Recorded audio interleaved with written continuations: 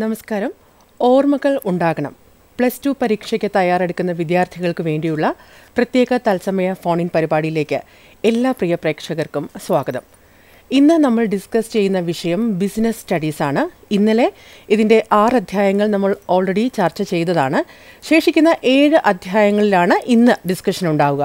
അപ്പോൾ നിങ്ങളുടെ സംശയങ്ങൾ ദൂരീകരിക്കുവാനും നിങ്ങൾക്ക് എക്സാമിന് വരുന്ന അധിക വിവരങ്ങൾ നൽകുവാനുമായി ഇന്ന് സ്റ്റുഡിയോയിൽ എത്തിച്ചേർന്നിട്ടുള്ള അധ്യാപകർ ആരൊക്കെയാണെന്ന് നമുക്ക് നോക്കാം.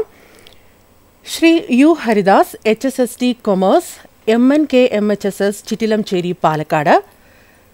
Shri Sivi Krishnan H S S T commerce G H S S Kaniyambetta Wayanad. കൂടാതെ ഈ അധ്യാപകരെ സഹായിക്കുവാനായി തിരശ്ശീലയ്ക്ക് പിന്നിൽ മറ്റൊരു അധ്യാപികയുണ്ട്. Shrimati Sinimol T J H S S T commerce Darul Uloom H S S Ernakulam. അപ്പോൾ നമുക്ക് ആദ്യം തന്നെ പ്രോഗ്രാമിലേക്ക് ഈ അധ്യാപകരെ സ്വാഗതം ചെയ്യാം. Welcome to the programme sir and madam ഇപ്പോൾ മുതൽ നിങ്ങൾക്ക് സ്ക്രീനിൽ സ്ക്രോൾ ചെയ്ത് കാണിക്കുന്ന ടോൾ ഫ്രീ നമ്പറിലേക്ക് നിങ്ങളുടെ സംശയങ്ങൾ വിളിച്ച് ചോദിക്കാവുന്നതാണ്. നിങ്ങൾക്ക് അധികമായി സംശയങ്ങളുള്ള പാഠഭാഗങ്ങൾ ഏതെങ്കിലും ഉണ്ടെങ്കിൽ ശ്രദ്ധിച്ച് ക്വസ്റ്റ്യൻ ശ്രദ്ധിച്ചിട്ട് നിങ്ങളുടെ ഡൗട്ട്സ് ക്ലിയർ ആയിട്ട് ചോദിക്കാവുന്നതാണ്. അപ്പോൾ നമുക്ക് പ്രോഗ്രാം സ്റ്റാർട്ട് ചെയ്യാം. തുടങ്ങാം അല്ലേ സർ യഥാർത്ഥത്തിൽ നമ്മൾ ഇന്നലെ എട്ട് അധ്യായങ്ങളാണ് പ്ലാൻ ചെയ്തിരുന്നത്. സമയപരിമിതി മൂലം അതിലെ അവസാന രണ്ട് അധ്യായങ്ങൾ നമുക്ക് പൂർത്തീകരിക്കാൻ കഴിഞ്ഞിരുന്നില്ല. അതുൾപ്പെടെയുള്ള ഏഴ് അധ്യായങ്ങൾ നമ്മൾ ഇന്ന് ചർച്ച ചെയ്യുന്നു. ഏഴാം അധ്യായം ഡയറക്റ്റിംഗ് താരതമ്യേന വലിയ അധ്യായം പത്ത് സ്കോർ വെയിറ്റേജ് അതിനുണ്ട്. എട്ടാം അധ്യായം കൺട്രോളിംഗ് നാല് സ്കോർ മാത്രമേ അതിന് അസൈൻ ചെയ്തിട്ടുള്ളൂ. ഒമ്പതാം അധ്യായം ഫിനാൻഷ്യൽ മാനേജ്മെന്റ് ധനകാര്യ മാനേജ്മെന്റ് ഒമ്പത് സ്കോറാണ് പത്താം അധ്യായമായ ഫിനാൻഷ്യൽ മാർക്കറ്റ് അഥവാ ധനകാര്യ വിപണി അഞ്ച് സ്കോർ മാത്രമാണ് അതിന് അസൈൻ ചെയ്തിരിക്കുന്നത്. പതിനൊന്നാം അധ്യായം ഒരുപക്ഷെ ഏറ്റവും കൂടുതൽ സ്കോർ അസൈൻ ചെയ്ത അധ്യായം പന്ത്രണ്ട് സ്കോർ അതിന് നൽകിയിട്ടുണ്ട്. പന്ത്രണ്ടാം അധ്യായം കൺസ്യൂമർ പ്രൊട്ടക്ഷൻ നാല് സ്കോർ മാത്രമാണ്. പതിമൂന്നാമത്തെ എൻട്രിപ്രണർഷിപ്പ് ഡെവലപ്മെന്റ് എന്ന് പറയുന്ന അധ്യായം മൂന്ന് സ്കോർ മാത്രമേ അസൈൻ ചെയ്തിട്ടുള്ളൂ. കാരണമൊന്നുമില്ല അത് അതിന്റെ ഒരു ഓവർവ്യൂ മാത്രമേ നമ്മൾ ഈ അധ്യായത്തിൽ ഈ പാഠഭാഗങ്ങളിൽ നമ്മൾ ഉദ്ദേശിച്ചിട്ടുള്ളൂ. ശിവ സാർ അങ്ങനെയാണെങ്കിൽ നമുക്ക് ഏഴാമത് ചർച്ച ചെയ്യുന്ന ആദ്യത്തെ യൂണിറ്റ് യൂണിറ്റ് നമ്പർ ഏഴാണ്. ആറ് സ്കോറാണ് യൂണിറ്റിന് നിശ്ചയിച്ചിട്ടുള്ളത്. ഒരു മാനേജ്മെന്റിൽ അല്ലെങ്കിൽ ഓർഗനൈസേഷനിലെ ഹ്യൂമൻ ഇലവന്റുമായി ബന്ധിപ്പിച്ചുകൊണ്ടുള്ള ഫംഗ്ഷനാണ് ഡയറക്റ്റിംഗ് എന്ന് പറയുന്നത്. അപ്പോൾ അത് വളരെ പ്രധാനപ്പെട്ട ഒരു മേഖലയാണ്. അതുമായി ബന്ധപ്പെട്ട ഒരു ചോദ്യം നമുക്ക് ചർച്ച ചെയ്യാം. Briefly describe the elements of directing. ഈ ഡയറക്റ്റിംഗ് എന്ന ഈ മാനേജറിൽ ഫംഗ്ഷന്റെ ഇലമെൻസുമായി ബന്ധിപ്പിച്ചുകൊണ്ടുള്ള ചോദ്യമാണ്. ഏതൊക്കെയാണ് ഇതിന്റെ ഇലമെൻസ് എന്നുള്ള നാല് ഇലമെന്റുകളാണ് ഡയറക്റ്റിങ്ങിനുള്ളത് supervision motivation leadership communication supervision എന്ന് വെച്ചാൽ ഒരു എംപ്ലോയി ആവശ്യമായിട്ടുള്ള നിർദ്ദേശങ്ങളും സപ്പോർട്ടും കൊടുക്കുന്ന ഫംഗ്ഷനാണ് സൂപ്പർവിഷൻ രണ്ടാമത്തെ മോട്ടിവേഷനാണ് സ്വയം ജോലി ചെയ്യാൻ ആവശ്യമായ പ്രേരണ ഉണ്ടാക്കുന്ന ഫംഗ്ഷനാണ് മോട്ടിവേഷൻ അതോടൊപ്പം തന്നെ ഒരു എംപ്ലോയിയുടെ അല്ലെങ്കിൽ ഒരു സബോർഡിനേറ്റിന്റെ സ്വഭാവത്തെ സ്വാധീനിച്ച് നമ്മുടെ ഓർഗനൈസേഷണൽ ഒബ്ജക്റ്റീവിലേക്ക് കൊണ്ടുവരുന്ന ഫംഗ്ഷനാണ് ലീഡർഷിപ്പ് അതോടൊപ്പം തന്നെ ആശയവിനിമയം വളരെ പ്രധാനപ്പെട്ട ഒരു കാര്യമാണ്. നമുക്ക് ആവശ്യമായ നിർദ്ദേശങ്ങളും മറ്റു കാര്യങ്ങളും ഒക്കെ നൽകിക്കൊണ്ട് എംപ്ലോയീസിനെ ഓർഗനൈസേഷണൽ ഒബ്ജക്റ്റീവിലേക്ക് കൊണ്ടുവരുന്ന ഫംഗ്ഷനാണ് കമ്മ്യൂണിക്കേഷൻ പിന്നെ നാല് ഇലമെന്റുകളാണ് നമുക്ക് ഡയറക്റ്റിങ്ങുമായി ബന്ധിപ്പിച്ചുകൊണ്ട് ഉള്ളത്. നമുക്കൊരു കോൾ ഉണ്ട്. ഹലോ ഹലോ ആരാ വിളിക്കുന്നേ? എവിടെ നിന്നാ വിളിക്കുന്നേ? ആതിര. അതിര എവിടെ നിന്ന് വിളിക്കുന്നു? കൊല്ലം. ഓക്കെ അതിര ചോദിക്കൂ. സംശയം ചോദിക്കൂ. സാർ എനിക്ക് ഡൗട്ട് സ്റ്റാർട്ടിംഗ് എന്നുള്ള പാഠത്തിൽ നിന്നാണ്. ചോദിക്കും. ചോദ്യം ചോദിക്കൂ. ചോദിക്കൂ. റിക്രൂട്ട്മെന്റും സെലക്ഷനും തമ്മിൽ എപ്പോഴും എനിക്ക് തിരിഞ്ഞു പോകാറുണ്ട്. റിക്രൂട്ട്മെന്റ് എന്ന് പറയുന്നത് ഒരു പോസിറ്റീവായ പ്രോസസ്സാണ് താല്പര്യമുള്ള മുഴുവൻ താല്പര്യമുള്ള മുഴുവൻ ആളുകളുടെ അടുത്തു നിന്നും ആവശ്യമായിട്ടുള്ള ആപ്ലിക്കേഷൻസ് വാങ്ങി വെക്കുന്ന പ്രോസസ്സാണ് റിക്രൂട്ട്മെന്റ് എന്ന് പറയുന്നത്. ജോലിക്ക് താല്പര്യമുള്ള മുഴുവൻ ആളുകൾ അതേസമയം സെലക്ഷൻ എന്ന് പറയുന്നത് ആ ആപ്ലിക്കൻസിനിടയിൽ നിന്നും നമുക്ക് അനുയോജ്യനായ ആളുകളെ തിരഞ്ഞെടുക്കുന്ന പ്രോസസ്സാണ്. അതുകൊണ്ട് നമ്മൾ നെഗറ്റീവ് പ്രോസസ്സാണെന്ന് പറയാറുണ്ട്. അത് നമുക്ക് ചിലപ്പോൾ ഒരാളെ രണ്ടാളൊക്കെ ആവശ്യം വരുള്ളൂ. അപ്പോൾ ഒരുപാട് ആപ്ലിക്കൻസിനിടയിൽ നിന്നും നമുക്ക് ഏറ്റവും എലിജിബിൾ എന്ന് തോന്നുന്ന ഒരാളെ തിരഞ്ഞെടുക്കുന്ന ഫംഗ്ഷനാണ് സെലക്ഷൻ അപ്പോൾ റിക്രൂട്ട്മെന്റിന്റെ ബാക്കിയായിട്ടാണ് സെലക്ഷൻ വരുന്നത്. അടുത്ത ചോദ്യത്തിലേക്ക് പോകാം. താങ്ക് യു ഇതിലൊരു പ്രധാനപ്പെട്ട മേഖലയാണ് Abraham Maslow's need hierarchy theory. Human നീഡ്സിന് ഒരു ഒരു ഹയറാർക്കി ഒരു ക്രമമുണ്ടെന്ന് നിശ്ചയിച്ചത് അല്ലെങ്കിൽ ഡിഫൈൻ ചെയ്തത് അബ്രഹാം മാസ്ലോ എന്ന സൈക്കോളജിസ്റ്റാണ്. അതിന്റെ അടിസ്ഥാനത്തിലുള്ള ചോദ്യമാണ് identify the following human needs according to Maslow's need hierarchy theory. ഒരു ആപ്ലിക്കേഷൻ തലത്തിലുള്ള ചോദ്യമാണ് acceptance by society need for family and friends realisation of goal in life job security, need for food and clothing ഇത്തരം ആവശ്യങ്ങൾ ഈ അവശ്യ ശ്രേണി സിദ്ധാന്തം അനുസരിച്ച് ഏത് മേഖലയിലേക്ക് ഉൾക്കൊള്ളുന്നു എന്ന് പറയുക എന്നുള്ളതാണ് ഈ ചോദ്യം ഉദ്ദേശിക്കുന്നത്. അതിൽ ഒന്നാമത്തെ need for food and clothing നമുക്കെല്ലാവർക്കും അറിയാം ബേസിക് നീഡ്സ് അടിസ്ഥാന ആവശ്യങ്ങളാണ് ഫിസിയോളജിക്കൽ ശാരീരിക ആവശ്യങ്ങളാണ്. രണ്ടാമത് ജോബ് സെക്യൂരിറ്റി സേഫ്റ്റി നീഡ്സ് സുരക്ഷിതത്വ ആവശ്യം സുരക്ഷിതത്വം. ഇവിടെ ഉദ്ദേശിക്കുന്ന സാമ്പത്തിക സുരക്ഷിതത്വമാണ്. അതിനകത്ത് ശാരീരികമായിട്ടുള്ള ആരോഗ്യപരമായ എല്ലാ സുരക്ഷിതത്വം അതിനകത്ത് ഉൾക്കൊള്ളുന്നുണ്ട്. Need for family and friends ഒരു സോഷ്യൽ നീഡ്സ് നമ്മളൊരു സാമൂഹ്യ ജീവി എന്ന നിലയ്ക്ക് എല്ലാ വ്യക്തികൾക്കും ആഗ്രഹിക്കുന്ന അല്ലെങ്കിൽ ഉണ്ടാവേണ്ട ഒന്നാണ് സോഷ്യൽ നീഡ് അതിൽ ഉൾക്കൊള്ളുന്നതാണ് need for family and friends acceptance by society ഒരു ഹയർ ലെവൽ നീഡ് എന്ന് പറയാവുന്ന എസ്റ്റീം നീഡ്സ് നമ്മളെ ആളുകൾ അംഗീകരിക്കണം സമൂഹം അംഗീകരിക്കണം എന്നുള്ള esteem need and last realisation of goal in life നമ്മൾ എന്താണോ ആകണമെന്ന് ആഗ്രഹിക്കുന്നത് ആ സ്ഥാനത്തേക്ക് നമ്മൾ എത്തിച്ചേരുന്നു എന്നുള്ള ആ ഒരു സ്റ്റേജാണ് സെൽഫ് ആക്ച്വലൈസേഷൻ നീഡ് എന്ന് പറയുന്ന realisation of goal in life അടുത്ത ചോദ്യം നമുക്ക് ചർച്ച ചെയ്യാനുള്ളത് ഒരു ഏറ്റവും പ്രധാനപ്പെട്ട ഡയറക്റ്റിന് ഏറ്റവും പ്രധാനപ്പെട്ട ഒരു ആണ് മോട്ടിവേഷൻ അപ്പോൾ ഓരോ എംപ്ലോയിയെയും ആ ജോലിയിൽ സ്റ്റിക്ക് ഓൺ ചെയ്യിക്കുന്ന ഏറ്റവും പ്രധാനപ്പെട്ട ഫംഗ്ഷനാണ് മോട്ടിവേഷൻ അപ്പോൾ അതിന് വേണ്ടിയിട്ട് വ്യത്യസ്ത തരത്തിലുള്ള ഇൻസെന്റീവ്സും റിവാർഡ്സും ഒക്കെ മാനേജ്മെന്റ് നൽകാറുണ്ട് ഓർഗനൈസേഷനിൽ അപ്പോൾ അതുമായി ബന്ധിപ്പിച്ചുകൊണ്ടൊരു ചോദ്യമാണ് any four non financial incentives provided by management to motivate their employees രണ്ട് തരത്തിലുള്ള ഇൻസെന്റീവ്സ് നൽകാറുണ്ട്. ഫിനാൻഷ്യൽ ഇൻസെന്റീവ്സും ഫിനാൻഷ്യൽ ഇൻസെന്റീവ്സും അല്ലെങ്കിൽ മോണിറ്ററി ഇൻസെന്റീവ്സും നോൺ മോണിറ്ററി ഇൻസെന്റീവ്സും പണപരമല്ലാത്ത നൽകുന്ന സപ്പോർട്ടിനെയാണ് നമ്മൾ നോൺ ഫിനാൻഷ്യൽ ഇൻസെന്റീവ് എന്നോട് ഉദ്ദേശിക്കുന്നത്. പ്രധാനമായിട്ട് നൽകുന്ന നോൺ ഫിനാൻഷ്യൽ ഇൻസെന്റീവ്സ് ഒന്ന് സ്റ്റാറ്റസ് ആണ്. സമൂഹത്തിലെ ഏറ്റവും ഡിഗ്നിറ്റിയോട് കൂടി ജീവിക്കാൻ ആവശ്യമായിട്ടുള്ള സ്റ്റാറ്റസ് കോ നൽകുക എന്നുള്ളതാണത്. രണ്ടാമത് ഓർഗനൈസേഷൻ ക്ലൈമറ്റ് ആണ്. ജോലി ഏറ്റവും നല്ല രൂപത്തിൽ ചെയ്യാൻ ആവശ്യമായിട്ടുള്ള സൗകര്യങ്ങൾ വർക്കിംഗ് കണ്ടീഷൻസ് സ്ഥാപനത്തിൽ ഒരുങ്ങിക്കൊടുക്കുക എന്നാണ് അതുകൊണ്ട് ഉദ്ദേശിക്കുന്നത്. അതേപോലെ തന്നെ ഒരു എംപ്ലോയിക്ക് എത്ര സാധ്യമാകുമോ അത്രയും കരിയറിൽ അഡ്വാൻസ്മെന്റ് ഉണ്ടാകാനുള്ള ഓപ്പർച്യൂണിറ്റി ഉണ്ടാക്കി കൊടുക്കുക എന്നുള്ളതാണ് മറ്റൊരു നോൺ മോണിറ്ററി ഇൻസെന്റീവ് അതേപോലെ തന്നെ ജോബ് എൻറിച്ച്മെന്റ് അയാൾക്ക് ജോലി ഏറ്റവും മികച്ച രൂപത്തിൽ ഏറ്റവും മികച്ച രൂപത്തിലുള്ള പെർഫോമൻസ് ചെയ്യാൻ ആവശ്യമായിട്ടുള്ള സംവിധാനങ്ങൾ ഒരുക്കി കൊടുക്കുക എന്നുള്ളതാണ്. ദെൻ മറ്റൊന്ന് ജോബ് സെക്യൂരിറ്റിയാണ് സേഫ്റ്റി വളരെ പ്രധാനമാണ്. എക്കണോമിക് സെക്യൂരിറ്റിയും അതോടൊപ്പം തന്നെ എനിക്ക് ജോലി നഷ്ടപ്പെടില്ല. എന്റെ കാലാകാലം എനിക്കിന്ന് വരുമാനം കൊണ്ട് ജീവിക്കാം. ഈ ഒരു ഫീലിംഗ് ഉണ്ടാക്കുക എന്നുള്ളതാണ് ജോബ് സെക്യൂരിറ്റി കൊണ്ട് ഉദ്ദേശിക്കുന്നത്. ഇതൊക്കെയാണ് പ്രധാനപ്പെട്ട നോൺ മോണിറ്ററി ഇൻസെന്റീവ്സ് സർ നമുക്കൊരു കോൾ ഉണ്ട്. ഹലോ ഹലോ ഹലോ ഹലോ ആര്- ആരാ വിളിക്കുന്നേ? ഇത് മലപ്പുറത്ത് നിന്ന് ജിതിനാണ്. ആ ജിതിൻ ചോദിക്കൂ. മോട്ടിവേഷന്റെ സ്റ്റെപ്സ് ഒന്ന് പറഞ്ഞ് വിശദീകരിച്ചു തരും. മോട്ടിവേഷന്റെ സ്റ്റെപ്സ് സ്റ്റെപ്പോ? ആ സ്റ്റെപ്പുകൾ സ്റ്റെപ്സ് മോട്ടിവേഷൻ നമ്മളൊരു മോട്ടിവേഷൻ ഒരു പ്രോസസ്സ് അല്ല ആയിട്ടല്ല വിഭാവനം ചെയ്യുന്നത്. അതുകൊണ്ട് തന്നെ സ്റ്റെപ്പ് എന്ന രൂപത്തിലേക്ക് നമുക്ക് അതിനെ കാണേണ്ടതില്ല. മോട്ടിവേഷൻ എന്ന് പറയുന്ന ഒരു ഇന്റേർണൽ ആയിട്ടുള്ളൊരു ആണ്. ഏത് തരത്തിലാണ് ഒരാളെ സന്തോഷിപ്പിക്കാൻ വേണ്ടി സാധിക്കുക അത് ചെയ്യുക എന്നുള്ളതാണ് മോട്ടിവേഷൻ എന്ന് ഉദ്ദേശിക്കുന്നത്. അത് ഏതെങ്കിലും തരത്തിൽ ചിലപ്പോൾ മോണിറ്ററി ബെനിഫിറ്റ് കൊടുത്തുകൊണ്ടായിരിക്കും പണപരമായിട്ടുള്ള എന്തെങ്കിലും ബെനിഫിറ്റ് കൊടുത്തുകൊണ്ടാവാം അല്ലെങ്കിൽ ഏതെങ്കിലും തരത്തിലുള്ള മെന്റൽ സപ്പോർട്ട് കൊടുത്തുകൊണ്ടാവാം അപ്പോൾ അതുകൊണ്ട് തന്നെ അത് പ്രോസസ്സല്ല അതുകൊണ്ട് തന്നെ അതിന്റെ സ്റ്റെപ്പിന്റെ ഒരു ഒരു ഇലമെന്റ് അവിടെ ഒരിക്കലും വരുന്നില്ല. ജിതിൻ മനസ്സിലായോ? ആ മനസ്സിലായി. Okay thank you. ഇനി ഈ അധ്യായത്തിൽ നിന്ന് അടുത്ത് വരുന്ന ഒരു മേഖലയാണ് ലീഡർഷിപ്പ് എന്ന് പറയുന്നത്. ഡയറക്ടിങ്ങിന്റെ ഒരു എലമെന്റ് ആയിട്ടുള്ള ലീഡർഷിപ്പിൽ നിന്ന് പലപ്പോഴും ആവർത്തിച്ച് ചോദിക്കുന്ന ഒരു ചോദ്യമാണ് the qualities of a good leader ഇവിടെ describe any five qualities of a good leader അഞ്ച് ക്വാളിറ്റീസാണ് എഴുതാൻ പറഞ്ഞത്. ഇവിടെ നമ്മൾ ശ്രദ്ധിക്കേണ്ട ഒരു കാര്യമുണ്ട്. എത്ര പോയിന്റാണോ എഴുതാൻ പറഞ്ഞത് അത്ര പോയിന്റുകൾ നമ്മൾ എഴുതിയാൽ മതി. കൂടുതൽ പഠിച്ചു എന്നുള്ളത് കൊണ്ട് കൂടുതൽ പോയിന്റുകൾ എഴുതി നമുക്ക് സമയം കളയേണ്ടതില്ല. ഇവിടെ വരുന്ന ഫിസിക്കൽ ഫീച്ചേഴ്സ് ശാരീരികമായിട്ടുള്ള സവിശേഷതകൾ നോളജ് നമ്മൾ വിഷയവുമായി ബന്ധപ്പെട്ട നല്ല അറിവ്. നമ്മളോട് സംശയങ്ങൾ ദൂരീകരിക്കാനും നമുക്ക് മറ്റുള്ളവർക്ക് നിർദ്ദേശം കൊടുക്കാൻ തക്കവണ്ണമുള്ള അറിവ് നമുക്കുണ്ടായിരിക്കണം. ഇന്റഗ്രിറ്റി നമുക്കൊരു ഒരു വ്യക്തത. നമ്മൾ നമ്മളൊരു ഒരു എന്താ പറയുക ഇന്റഗ്രിറ്റി എന്ന് പറയുന്ന ഒരു വിശ്വസ്തത ഉൾക്കൊള്ളുന്ന ഇന്റഗ്രിറ്റി കമ്മ്യൂണിക്കേഷൻ സ്കില്ല് നല്ല ആശയവിനിമയ ശേഷിയുള്ള ആളായിരിക്കണം ലീഡർ എന്ന് പറയുന്നത്. അത് ആശയങ്ങൾ അങ്ങോട്ട് പറഞ്ഞു കൊടുക്കുന്നത് മാത്രമല്ല നല്ലൊരു ലിസണിങ് എന്ന് പറയുന്നതും കമ്മ്യൂണിക്കേഷൻ സ്കില്ലിന്റെ ഭാഗമാണ് എമ്പതി എപ്പോഴും ഒരു ലീഡർക്ക് ഉണ്ടായിരിക്കേണ്ട ഒരു യോഗ്യതയാണ് അല്ലെങ്കിൽ ഒരു ക്വാളിറ്റിയാണ് മറ്റുള്ളവരുടെ കാഴ്ചപ്പാടിൽ നിന്നുകൊണ്ട് കാര്യങ്ങൾ കാണാനുള്ള കഴിവ്. എങ്കിൽ മാത്രമേ നമുക്ക് അവരെ മനസ്സിലാക്കാനും മറ്റുമൊക്കെ കഴിയുള്ളൂ. എമ്പതി ഇത്രയും പോയിന്റുകൾ മാത്രമല്ല അതിനകത്തുള്ളത്. ഇവിടെ ചോദ്യത്തിൽ അഞ്ച് എന്ന് പറഞ്ഞുകൊണ്ട് അഞ്ചിൽ സ്റ്റിക്ക് ഓൺ ചെയ്തേ ഉള്ളൂ. ചോദ്യത്തിലെ സ്കോറിനനുസരിച്ച് നമുക്ക് മാറ്റേണ്ടതുണ്ട്. നമുക്കൊരു കോൾ ഉണ്ട്. ഹലോ ഹലോ ഹലോ ആരാ വിളിക്കുന്നേ? ഞാൻ ജാഫറാണ് പാലക്കാട്. ആ ചോദിക്കൂ. കൺട്രോളിംഗിന്റെ കൺട്രോളിങ്ങിന്റെ സ്റ്റെപ്പ് എന്താണ്?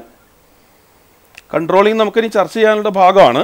എങ്കിലും ചോദിച്ചുകൊണ്ട് പറയാം. അത് നമ്മൾ സ്റ്റാൻഡേർഡ് ഫിക്സ് ചെയ്യുന്നു. ആ സ്റ്റാൻഡേർഡിന്റെ അടിസ്ഥാനത്തിൽ നമ്മുടെ പെർഫോമൻസിനെ നമ്മൾ അസസ് ഇവാലുവേറ്റ് ചെയ്യുന്നു. ഇവാലുവേറ്റ് ചെയ്ത് ആ പെർഫോമൻസിന് ഏതെങ്കിലും തരത്തിലുള്ള ഡീവിയേഷൻസ് ഉണ്ടോ എന്ന് നമ്മൾ മാറ്റം വരുത്തേണ്ടതുണ്ടോ എന്ന് പരിശോധിക്കുന്നു. അങ്ങനെ മാറ്റം വരുത്തേണ്ടതുണ്ടെങ്കിൽ നമ്മൾ ആ- മാറ്റം വരുത്താൻ ആവശ്യമായിട്ടുള്ള റെമഡിയൽ മെഷേഴ്സ് എടുക്കുന്നു. അതാണ് കൺട്രോളിങ്ങിന്റെ ഒരു ആ, പ്രോസസ് അതിന്റെ ഒരു സ്റ്റെപ്പ് എന്ന് പറയുന്നത്.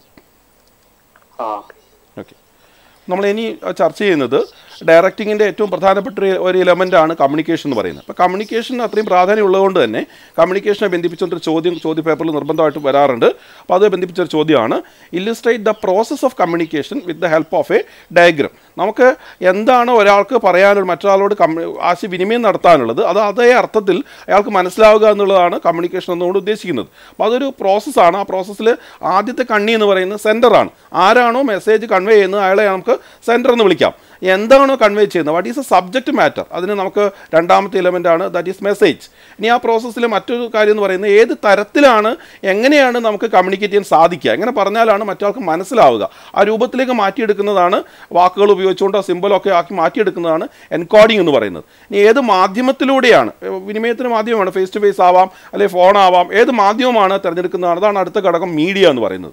ഇനി അത് റിസീവർ സ്വീകരിക്കുന്ന അദ്ദേഹം മനസ്സിലാക്കുന്ന രൂപം ഏത് രൂപത്തിലാണ് ആ റിസീവർ മനസ്സിലാക്കുന്നത് അതാണ് അടുത്ത ആ പ്രോസസ്സിൽ അടുത്ത ഘടകം ഡീകോഡിംഗ് ഇനി അത് റിസീവറിലേക്ക് എത്തിക്കഴിഞ്ഞാൽ അത് ഏത് തരത്തിലാണോ അത് കമ്മ്യൂണിക്കേറ്റ് ചെയ്യപ്പെട്ടത് അതിന്റെ നിന്ന് പ്രതികരണം ഉണ്ടാവും അതാണ് ഫീഡ്ബാക്ക് ഇത് വീണ്ടും ഫീഡ്ബാക്ക് വീണ്ടും സെന്ററിലേക്ക് എത്തുകയും അത് തുടർന്നുകൊണ്ടിരിക്കുകയും ചെയ്യും. ഇതാണ് കമ്മ്യൂണിക്കേഷന്റെ ഒരു പ്രോസസ്സ് എന്ന് പറയുന്നത്. അടുത്ത ഒരു ചോദ്യം കമ്മ്യൂണിക്കേഷനുമായി ബന്ധപ്പെട്ട് തന്നെയാണ്. ഇതും പലപ്പോഴും ആവർത്തിച്ച് മാറി മാറി ചോദിക്കുന്ന ചോദ്യമാണ്. Describe the different types of barriers in communication എല്ലാറ്റിനും ഓരോ examples with one examples each അത് കൊടുക്കാൻ വേണ്ടി പറഞ്ഞിട്ടുണ്ട്. ബേസിക്കലി അത് നാല് ഗ്രൂപ്പ് ഓഫ് ബാരിയേഴ്സാണ് അതിന് വരുന്നത്. Semantic barriers psychological barriers organisational barriers personal barriers semantic barriers നമ്മൾ മെസ്സേജ് വ്യക്തമല്ലാതെ നമ്മൾ കമ്മ്യൂണിക്കേറ്റ് ചെയ്യുന്നത് രണ്ട് ഒരു സിമ്പലിന് രണ്ട് അർത്ഥങ്ങൾ വരുന്ന രീതിയിലുള്ള അത്തരമാണ് സിമാന്റിക് ബാരിയേഴ്സ് സൈക്കോളജിക്കൽ ബാരിയേഴ്സ് ശ്രദ്ധ ഇല്ലായ്മ നമ്മളെ lack of attention premature evaluation നമ്മളൊരു മുൻവിധിയോടുകൂടി ഒരു ആശയവിനിമയത്തെ സമീപിക്കുന്നത് organisational barriers rules and regulations അല്ലെങ്കിൽ സ്റ്റാറ്റസ് ഓഫ് എംപ്ലോയീസ് ഒരു കോംപ്ലക്സിറ്റി ഉള്ള ഒരു ഓർഗനൈസേഷൻ ആണെങ്കിൽ പലപ്പോഴും സ്ട്രക്ചറൊക്കെ കോംപ്ലക്സ് ഉള്ളതാണെങ്കിൽ അതിനകത്ത് കമ്മ്യൂണിക്കേഷൻ പലപ്പോഴും ഡിസ്റ്റർബ്ഡ് ആവാറുണ്ട്. പേഴ്സണൽ ബാരിയേഴ്സ് വ്യക്തിപരമായിട്ടുള്ള വ്യക്തികളുടേതായിട്ടുള്ള മനോഭാവവും മറ്റുമൊക്കെ തന്നെ അല്ലെങ്കിൽ അതിൽ ഒരു പ്രത്യേക മോട്ടിവേഷനൊന്നും ഇല്ലെങ്കിൽ നമ്മൾ അറ്റൻഡ് ചെയ്യാതിരിക്കാൻ സാധ്യതയുണ്ട്. ഇത്തരത്തിലൊക്കെ തന്നെ കമ്മ്യൂണിക്കേഷൻ ചില പലപ്പോഴും നമ്മൾ വിചാരിച്ചത്ര എഫക്റ്റീവ് ആവാതിരിക്കാൻ സാധ്യതയുണ്ട്. സർ നമുക്കൊരു കോൾ ഉണ്ട്. പ്രിയപ്പെട്ട വിദ്യാർത്ഥികളോട് ഒരു റിക്വസ്റ്റ് ഉണ്ട്. ഈ അധ്യാപകർ പറഞ്ഞു നൽകുന്ന അതേ ചാപ്റ്റേഴ്സിൽ നിന്നും നിങ്ങൾ ക്വസ്റ്റ്യൻസ് ചോദിക്കാൻ ശ്രദ്ധിക്കണം. ഇനി വരുന്ന ചാപ്റ്റേഴ്സ് അവർ പറയുന്ന സമയത്ത് ചോദിക്കുന്നതായിരിക്കും കൂടുതൽ ഉചിതം. ഓക്കെ ഹലോ കൊൽക്കട്ടായി കൊൽക്കട്ടായി. അടുത്ത യൂണിറ്റ് എട്ടാമത്തെ യൂണിറ്റിൽ കൺട്രോളിംഗ് ആണ് നമ്മൾ ചർച്ച ചെയ്യുന്നത്. അഞ്ച് സ്കോറാണ് കൺട്രോളിങ്ങിന് ഉള്ളത്. കൺട്രോളിംഗ് എന്ന് വെച്ചാൽ നമ്മൾ വിചാരിച്ചൊരു കാര്യം ആ രൂപത്തിൽ തന്നെ നടക്കുന്നുണ്ട് എന്ന് ഉറപ്പുവരുത്തുന്ന പ്രോസസ്സാണ് കൺട്രോളിംഗ് ഈ കൺട്രോളിങ്ങിനെ ബേസ് ചെയ്തുകൊണ്ട് എപ്പോഴും ഒരു ചോദ്യം ആദ്യ ഭാഗത്തു നിന്ന് ഒരു ചോദ്യം ഉണ്ടാവാറുണ്ട്. അത് മറ്റൊന്നുമല്ല പ്ലാനിങ്ങും കൺട്രോളിങ്ങും തമ്മിൽ റിലേഷൻഷുമായി ബന്ധിപ്പിച്ചുകൊണ്ട് വളരെ റെലവന്റ് ആയിട്ടൊരു ചോദ്യമാണ് നമ്മൾ ചർച്ച ചെയ്യുന്നത്. Controlling is not possible without planning and planning without controlling is meaningless അപ്പോൾ പ്ലാനിങ്ങും കൺട്രോളിങ് തമ്മിലുള്ള റിലേഷനാണ് നമ്മൾ അവിടെ ചർച്ച ചെയ്യുന്നത്. അപ്പോൾ പ്ലാനിങ് എന്താണ്? പ്ലാൻ എന്താണോ ചെയ്തത് അതിന്റെ അതാണ് നമ്മൾ നിയന്ത്രിക്കുന്നത്. ആ പ്ലാൻ ചെയ്ത് എഷ്യൂർ ചെയ്യാണ് നടപ്പിലാവുന്നത് ഉറപ്പുവരുത്തലാണ് കൺട്രോളിങ്ങിന് സാധിക്കുന്നത്. അപ്പോൾ നമുക്ക് ആദ്യം പറയേണ്ടത് planning and controlling are described as twins in management രണ്ടും ഇരട്ടകൾ എന്നാണ് അറിയപ്പെടുന്നത്. അതോടൊപ്പം തന്നെ planning is the basis of controlling കൺട്രോളിങ്ങിന്റെ basis ആണ് അല്ല അടിസ്ഥാനമാണ് പ്ലാനിംഗ് എന്ന് പറയുന്നത്. അതോടൊപ്പം തന്നെ planning is successful only with controlling controlling ഉണ്ടെങ്കിൽ മാത്രം പ്രോപ്പർ കൺട്രോളിംഗ് ഉണ്ടെങ്കിൽ മാത്രമേ നമുക്ക് പ്ലാനിംഗ് വിജയിക്കാൻ വേണ്ടി സാധിക്കുകയുള്ളൂ. അപ്പോൾ ഈ റിലേഷനാണ് ഒരു പ്രധാനപ്പെട്ട വസ്തുത. അടുത്ത ഒരു ചോദ്യം controlling in management involves a series of steps describe them process of controlling ആണ്. യഥാർത്ഥത്തിൽ ഈ ഒരു ചോദ്യം അപ്പോഴേ ഒരു സംശയമായിട്ട് വന്നിരുന്നതാണ്. അവിടെ നമ്മൾ വിശദമായിട്ട് ഷിവി സാർ അത് എക്സ്പ്ലെയിൻ ചെയ്യുകയും ചെയ്തിരുന്നു. Setting standards and actual performance measure ചെയ്യുന്നു. ആക്ച്വൽ പെർഫോമൻസും നമ്മൾ സെറ്റ് ചെയ്ത സ്റ്റാൻഡേർഡുമായിട്ട് താരതമ്യം ചെയ്യുന്നു. അനലൈസിങ് ദ ഡീവിയേഷൻസ് അത് എന്തെങ്കിലും വ്യത്യാസങ്ങളുണ്ടെങ്കിൽ അതിന്റെ കാര്യകാരണങ്ങൾ കണ്ടെത്തി നമ്മളത് വിശദീകരിക്കുന്നു ആൻഡ് ടേക്കിംഗ് കറക്റ്റീവ് ആക്ഷൻ ആവശ്യമുണ്ടെങ്കിൽ നമ്മളത് കറക്റ്റ് ചെയ്യുന്നു. അല്ല നമ്മൾ ഉദ്ദേശിച്ച പോലെ സ്റ്റാൻഡേർഡ് അനുസരിച്ച് പ്ലാൻ അനുസരിച്ച് പോകുന്നുണ്ടെങ്കിൽ നമ്മൾ ആ വഴിക്ക് അത് പോകാൻ അത് അനുവദിക്കുകയും ചെയ്യുന്നു. ഇത്രയാണ് അതിനകത്തുള്ള സ്റ്റെപ്സ് ഇൻ കൺട്രോൾ എന്നുള്ള ക്വസ്റ്റിന് നമുക്ക് ആൻസർ ആയിട്ട് എഴുതേണ്ടത്. നമ്മൾ കൺട്രോളിങ്ങിന് വേണ്ടിയിട്ട് വിവിധ തരത്തിലുള്ള ടെക്നിക്സ് നമ്മൾ ഉപയോഗിക്കുന്നുണ്ട്. ഇങ്ങനെ ഇങ്ങനെ കൺട്രോളിൽ ഉപയോഗിക്കുന്ന ഈ ടെക്നിക്സിനെ നമ്മൾ പ്രധാനമായി രണ്ടായി തരംതിരിക്കുന്നുണ്ട്. ട്രഡീഷണൽ ടെക്നിക്സ് ഒന്നും മോഡേൺ ടെക്നിക്സ് ഒന്നും. അത് ബന്ധിപ്പിച്ചുകൊണ്ട് അടുത്ത ചോദ്യം. State any three traditional and modern techniques of managerial control അപ്പോൾ ട്രഡീഷണൽ ടെക്നിക്സിൽ പ്രധാനമായിട്ടുള്ളത് personal observation statistical reports break even analysis ഇതൊക്കെയാണ് പ്രധാനമായിട്ടുള്ള ട്രഡീഷണൽ ടെക്നിക്സ് പേഴ്സണൽ ഒബ്സർവേഷൻ എന്ന് വെച്ചാൽ ഒരു കാര്യം നിരീക്ഷിക്കുകയും ആവശ്യമായ തിരുത്തലുകൾ ആ സമയത്ത് ആ ഇടപെട്ട് ചെയ്യുകയും എന്നുള്ളതാണ് വളരെ ലളിതമായ രീതിയാണ് പേഴ്സണൽ ഒബ്സർവേഷൻ രണ്ടാമത് ലഭ്യ ലഭ്യമായ സ്ഥിതിവിവരങ്ങളുടെ അടിസ്ഥാനത്തിൽ നിയന്ത്രണം സാധിക്കുന്നതാണ് സ്റ്റാറ്റിസ്റ്റിക്കൽ റിപ്പോർട്ട് എന്ന് പറയുന്നത്. ഞാൻ ബ്രേക്ക് ഇവൻ പോയിന്റ് എന്ന് പറയുന്ന ആശയവുമായി ബന്ധിപ്പിച്ചുകൊണ്ട് ബ്രേക്ക് ഇവൻ ചാർട്ട് പോലെയുള്ള സംവിധാനങ്ങൾ ഉപയോഗിച്ചുകൊണ്ടുള്ള കൺട്രോളിംഗ് ടെക്നിക്കാണ് ബ്രേക്ക് ഇവൻ അനാലിസിസ് എന്നാൽ മോഡേൺ ടെക്നിക്സിൽ നിരവധിയായിട്ടുള്ള മോഡേൺ ടെക്നിക്സ് നമ്മൾ യൂസ് ചെയ്യുന്നുണ്ട്. അതിൽ ഏറ്റവും പ്രധാനപ്പെട്ട മൂന്നെണ്ണം റിട്ടേൺ ഓൺ ഇൻവെസ്റ്റ്മെന്റും റേഷ്യോ അനാലിസിസും മാനേജ്മെന്റ് ഓഡിറ്റുമാണ് അപ്പോൾ നമ്മൾ എത്രയാണ് ഇൻവെസ്റ്റ് ചെയ്യുന്നത്? അതിൽ നിന്ന് എത്ര പെർസെന്റേജ് ഓഫ് റിട്ടേൺ നമുക്ക് ലഭിക്കുന്നുണ്ട് എന്നത് എന്ന മാത്തമാറ്റിക്കൽ കാൽക്കുലേഷന്റെ അടിസ്ഥാനത്തിലുള്ള നിയന്ത്രണമാണ് റിട്ടേൺ ഓൺ ഇൻവെസ്റ്റ്മെന്റ് എന്ന് പറയുന്നത്. അതേപോലെ രണ്ട് വേരിയബിൾ തമ്മിലുള്ള റിലേഷൻ എക്സിബിറ്റ് ചെയ്തുകൊണ്ട് നടത്തുന്ന മോഡേൺ ടെക്നിക്സ് ആണ് റേഷ്യോ അനാലിസിസ് അതോടൊപ്പം തന്നെ ഓരോ ആക്ടിവിറ്റിയും പരിശോധിക്കുകയും ആവശ്യമായ ഇടപെടലുകൾ നിരന്തരമായി നടത്തുകയും ചെയ്തുകൊണ്ടുള്ള രീതിയാണ് മാനേജ്മെന്റ് ഓഡിറ്റ് സാർ നമുക്കൊരു കോൾ ഉണ്ട്. ഹലോ ഹലോ ഹലോ ആ ആരാ വിളിക്കുന്നേ? ഞാൻ സിന്ധു ആണ് എറണാകുളത്ത് നിന്ന് ഓക്കെ ചോദിക്കൂ സിന്ധു. ചോദ്യം ചോദിക്കൂ. കൺട്രോൾ ബൈ എക്സെപ്ഷൻ ഒന്ന് എക്സ്പ്ലെയിൻ ചെയ്തു തരാമോ? കൺട്രോൾ ബൈ എക്സെപ്ഷൻ പറഞ്ഞിരുന്നു. കൺട്രോൾ ബൈ എക്സെപ്ഷൻ അത് പലപ്പോഴും ചിലപ്പോഴൊക്കെ ചോദിക്കുന്ന ഒരു ഒരു മേഖലയാണ് എപ്പോഴും നമ്മൾ എല്ലാ കാര്യങ്ങളും കൺട്രോൾ ചെയ്യാൻ ശ്രമിച്ചു കഴിഞ്ഞാൽ ചിലപ്പോൾ ഒന്നും നടക്കണമെന്നില്ല. അപ്പോൾ അതുകൊണ്ട് തന്നെ അത്ര പ്രാധാന്യമില്ലാത്ത കാര്യങ്ങൾ താഴെത്തട്ടിലേക്ക് വിട്ടുകൊടുക്കുകയും വളരെ പ്രധാനപ്പെട്ട കാര്യങ്ങൾ ഒരുപാട് സിഗ്നിഫിക്കൻസ് ഉള്ള കാര്യങ്ങൾ മാത്രം ഹയർ ലെവലിലേക്ക് അല്ലെങ്കിൽ ടോപ്പ് ലെവലിലേക്ക് റെഫർ ചെയ്യുകയും ചെയ്യുക എന്നുള്ളതാണ് control by exception that means exceptional cases are refer to the higher level management and the ordinary or normal things are handled at the lower level itself വ്യക്തമായെന്ന് തോന്നുന്നു ഉത്തരം? സിന്ധു ഓക്കെ ആയോ? Okay Sindhu. Thank you for calling നമുക്ക് അടുത്ത അധ്യായത്തിലേക്ക് പോകാമെന്ന് തോന്നുന്നു. ഒമ്പതാമത്തെ അധ്യായം ഫൈനാൻഷ്യൽ മാനേജ്മെന്റ് പാഠപുസ്തകത്തിലെ രണ്ടാം ഭാഗത്തിലേക്ക് നമ്മൾ കടക്കുകയാണ്. ഫൈനാൻഷ്യൽ മാനേജ്മെന്റ് ഒമ്പത് മാർക്ക് വെയിറ്റേജ് ഉള്ള താരതമ്യേന വലിയ ഒരു അധ്യായമാണ്. Finance is the live wire of any business എന്ന് പറയും അതുകൊണ്ട് തന്നെയാണ് ആ ചാപ്റ്ററിന് ഇത്രയേറെ പ്രസക്തി വന്നത്. അല്ല നമുക്ക് ഒന്നാമതൊരു ചോദ്യം പലപ്പോഴും വരുന്നത് financial management is concerned with three important decisions related to financial operations explain them പ്രധാനമായും മൂന്ന് ഡിസിഷൻസ് ആണ് ഫിനാൻഷ്യൽ മാനേജ്മെന്റുമായിട്ട് ബന്ധപ്പെട്ടുള്ളത്. Actually that is what is financial management ഒന്ന് investment decision that means where we have to invest that means ഏതൊക്കെ അസറ്റിലാണ് especially fixed assets or long term assets നമ്മുടെ investment നടത്തേണ്ടത്. എത്രമാത്രം ഓർഗനൈസേഷന് ബെനിഫിഷ്യലായിട്ട് നമുക്ക് ഇൻവെസ്റ്റ്മെന്റുകൾ നടത്താൻ കഴിയും? രണ്ടാമത്തെ ഡിസിഷനാണ് ഫിനാൻസിങ് ഡിസിഷൻ ഈ ഇൻവെസ്റ്റ്മെന്റിന് വേണ്ട ഫണ്ട് എവിടെ നിന്ന് നമുക്ക് മൊബിലൈസ് ചെയ്യണം? From where or which source that you have to utilise for raising these required fund to make the investment മൂന്നാമത് ഡിവിഡൻ ഡിസിഷനാണ് വളരെ പ്രധാനപ്പെട്ടതാണ്. സ്ഥാപനത്തിന്റെ ലിക്വിഡിറ്റിയുമായി ബന്ധപ്പെട്ടതാണ്. പ്രോഫിറ്റ് ഷെയർ ഹോൾഡേഴ്സിന് ഡിവൈഡ് ചെയ്ത് കൊടുക്കുക എന്നുള്ളതാണ് ഡിവിഡൻ ഡിസിഷനുള്ളത് എത്രമാത്രം നമ്മൾ കമ്പനി റിസർവായിട്ട് മെയിന്റെയിൻ ചെയ്യണം? ഷെയർ ഹോൾഡേഴ്സിന് ഡിവൈഡ് ചെയ്യണം. അതാണ് ഡിവിഡൻ ഡിസിഷൻ എന്ന് പറയുന്നത്. ഈ മൂന്ന് തീരുമാനങ്ങളാണ് ഫിനാൻസ് ഡിസിഷൻസിൽ വരുന്നത്. ഫിനാൻഷ്യൽ മാനേജ്മെന്റിന്റെ മൂന്ന് പ്രധാനപ്പെട്ട ഡിസിഷനെ പറ്റി സാർ സൂചിപ്പിച്ചു. അതിൽ ഏറ്റവും പ്രധാനപ്പെട്ട ഡിസിഷനാണ് ഡിവിഡൻ ഡിസിഷൻ അപ്പോൾ എത്രയാണ് ഷെയർ ഹോൾഡേഴ്സിന് നൽകേണ്ട ഡിവിഡൻഡ് എന്നത് വളരെ ക്രൂഷ്യൽ ആയിട്ടുള്ള ചോദ്യമാണ്. അപ്പോൾ അതുമായി ബന്ധിപ്പിച്ചുകൊണ്ട് നിരവധി ഘടകങ്ങളെ പരിഗണിച്ചതിന് ശേഷം മാത്രമാണ് അതുപോലെ തീരുമാനമെടുക്കുന്നത്. അപ്പോൾ അതുമായി ബന്ധിപ്പിച്ച ഘടകങ്ങളെ ബന്ധിപ്പിച്ച ചോദ്യമാണ്.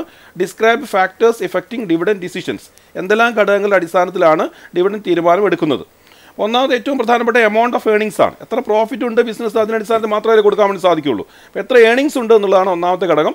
രണ്ടാമത് സ്റ്റെബിലിറ്റി ആണ്. സ്റ്റേബിളായിട്ട് ഇൻകം ഉണ്ടാകുന്ന ബിസിനസ് ആണോ? അതോ പ്രോഫിറ്റിൽ ഓരോ വർഷം ഡീവിയേഷൻസ് ഉണ്ടാവാൻ സാധ്യതയുണ്ടോ എന്നുള്ളത് തീർച്ചയായിട്ടും പരിഗണിക്കപ്പെടേണ്ട മറ്റൊരു ഘടകമാണ്. മൂന്നാമത്തെ സ്റ്റെബിലിറ്റി ഓഫ് ഡിവിഡന്റ് ആണ്. അപ്പോൾ ഓരോ വർഷവും ഡിവിഡന്റിൽ ഏറ്റക്കുറച്ചിലുണ്ടാവുന്ന ഒരുപക്ഷെ ഷെയർ ഹോൾഡേഴ്സ് അഫോർഡ് ചെയ്തൊന്നും വരില്ല. അപ്പോൾ അതുകൊണ്ട് അതും പരിഗണന വിഷയമാക്കണം. സ്റ്റെബിലിറ്റി ഓഫ് ഡിവിഡന്റ് മറ്റൊരു ഘടകമാണ്. മറ്റൊന്ന് ഗ്രോത്ത് ഓപ്പർച്യൂണിറ്റീസ് ആണ്. ബിസിനസ്സിനെ ഏതെല്ലാം തരത്തിൽ ഡെവലപ്പ് ചെയ്യാനുള്ള സാധ്യതയുണ്ട്? ഉണ്ടെങ്കിൽ തീർച്ചയായിട്ടും മുഴുവൻ ഡിവിഡൻഡ് നമുക്ക് ഡിസ്ട്രിബ്യൂട്ട് ചെയ്യാൻ പറ്റില്ല. അതിന്റെ ഡെവലപ്മെന്റ് പർപ്പസിന് വേണ്ടി കുറച്ച് എമൗണ്ട് നമ്മൾ മാറ്റി വെക്കേണ്ടി വരും. മറ്റൊന്ന് ക്യാഷ് ഫ്ലോ പൊസിഷനാണ് സഫീഷ്യന്റ് ആയിട്ട് ബിസിനസ്സിന്റെ ദൈനംദിന ആവശ്യങ്ങൾക്ക് ബിസിനസ്സിൽ പണം ഉണ്ടാവണം. ആ പണം ഉണ്ടാവുന്ന രൂപത്തിലേക്ക് മാത്രമേ നമുക്ക് ഡിവിഡൻഡ് കൈകാര്യം ചെയ്യാൻ വേണ്ടി സാധിക്കുകയുള്ളൂ. മറ്റൊന്ന് ഷെയർ ഹോൾഡേഴ്സ് പ്രിഫറൻസ് ആണ്. ഷെയർ ഹോൾഡർ എന്താണ് ആഗ്രഹിക്കുന്നത്? ആ ആഗ്രഹം വളരെ പ്രസക്തമാണ്. കാരണം അതൊരു വിശ്വാസത്തിന്റെ പ്രശ്നം കൂടിയുണ്ട്. അതുകൊണ്ട് തന്നെ ഷെയർ ഹോൾഡർ പ്രിഫറൻസ് മറ്റൊരു പരിഗണിക്കപ്പെടേണ്ട ഘടകമാണ്. പിന്നെ ഏതൊരു സ്ഥാപനവും ഏറ്റവും പ്രധാന പ്രാധാന്യത്തോടെ കാണുന്ന മറ്റൊരു കാര്യമാണ് ടാക്സേഷൻ അപ്പോൾ ടാക്സേഷനിൽ ആ സ്ഥാപനം സ്വീകരിക്കുന്ന പോളിസി എന്താണ്? Then അതേപോലെ തന്നെ സ്റ്റോക്ക് മാർക്കറ്റിൽ എന്താണ് നിലവിലുള്ള സിറ്റുവേഷൻ ഹൈക്കാണോ അല്ലെങ്കിൽ ഏതെങ്കിലും തരത്തിൽ ഡിപ്രഷൻ ഉണ്ടോ? ആ സ്റ്റോക്ക് മാർക്കറ്റ് റിയാക്ഷൻസ് ആണ് മറ്റൊരു പരിഗണിക്കേണ്ട മറ്റൊരു വിഷയം. മറ്റൊന്ന് ലീഗൽ കൺസ്ട്രെയിൻസ് ആണ്. മറ്റ് വ്യത്യസ്ത തരത്തിലുള്ള നിയമങ്ങളും നിബന്ധനകളും ഒക്കെ നിലവിലുള്ള രാജ്യമാണ് നമ്മുടേത്. അതുകൊണ്ട് തന്നെ അത്തരങ്ങൾ നിയമങ്ങളെയും നിയന്ത്രണയും ഒക്കെ പരിഗണിക്കണം. ഈ ഘടകങ്ങളെല്ലാം പരിശോധിച്ചതിന്റെ അടിസ്ഥാനത്തിൽ മാത്രമേ ഒരു ഡിവിഡൻഡ് എത്ര കൊടുക്കണം അല്ലെങ്കിൽ ഏത് രൂപത്തിൽ കൊടുക്കണം എന്നൊരു മാനേജ്മെന്റിന് തീരുമാനം എടുക്കാൻ വേണ്ടി സാധിക്കുള്ളൂ അടുത്ത ഒരു ചോദ്യം. ഫൈനാൻഷ്യൽ പ്ലാനിങ്ങുമായി ബന്ധപ്പെട്ടതാണ്. ആവർത്തിച്ച് പലപ്പോഴും കാണുന്നൊരു ചോദ്യമാണ്. State the twin objectives of financial planning അല്ലെങ്കിൽ ഒബ്ജക്റ്റീവ്സ് ഓഫ് ഫിനാൻഷ്യൽ പ്ലാനിങ് എന്ന് പറയുന്നത്.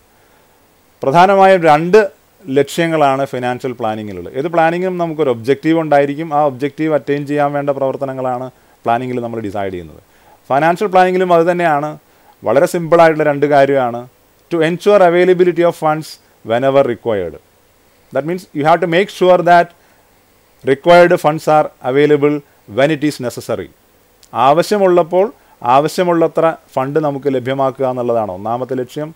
രണ്ടാമത് to see that the firm does not raise resources unnecessarily അനാവശ്യമായി നമ്മൾ ഫണ്ട് റേസ് ചെയ്യുകയാണെങ്കിൽ നമുക്ക് ആവശ്യമില്ലാത്ത ഫണ്ട് റേസ് ചെയ്യുകയാണെങ്കിൽ നമ്മുടെ പ്രവർത്തന ചെലവും മറ്റ് കോസ്റ്റുകളും വർദ്ധിക്കാനിടയാവും. അത് നമുക്ക് ഫൈനാൻഷ്യൽ ക്രൈസിസിലേക്ക് നയിക്കും. അതുകൊണ്ട് തന്നെ ആവശ്യമില്ലാത്ത ഫണ്ടുകൾ റേസ് ചെയ്യാതിരിക്കുക എന്നതും ഫൈനാൻഷ്യൽ പ്ലാനിങ്ങിന്റെ ലക്ഷ്യമായിട്ട് നമുക്ക് പറയാം.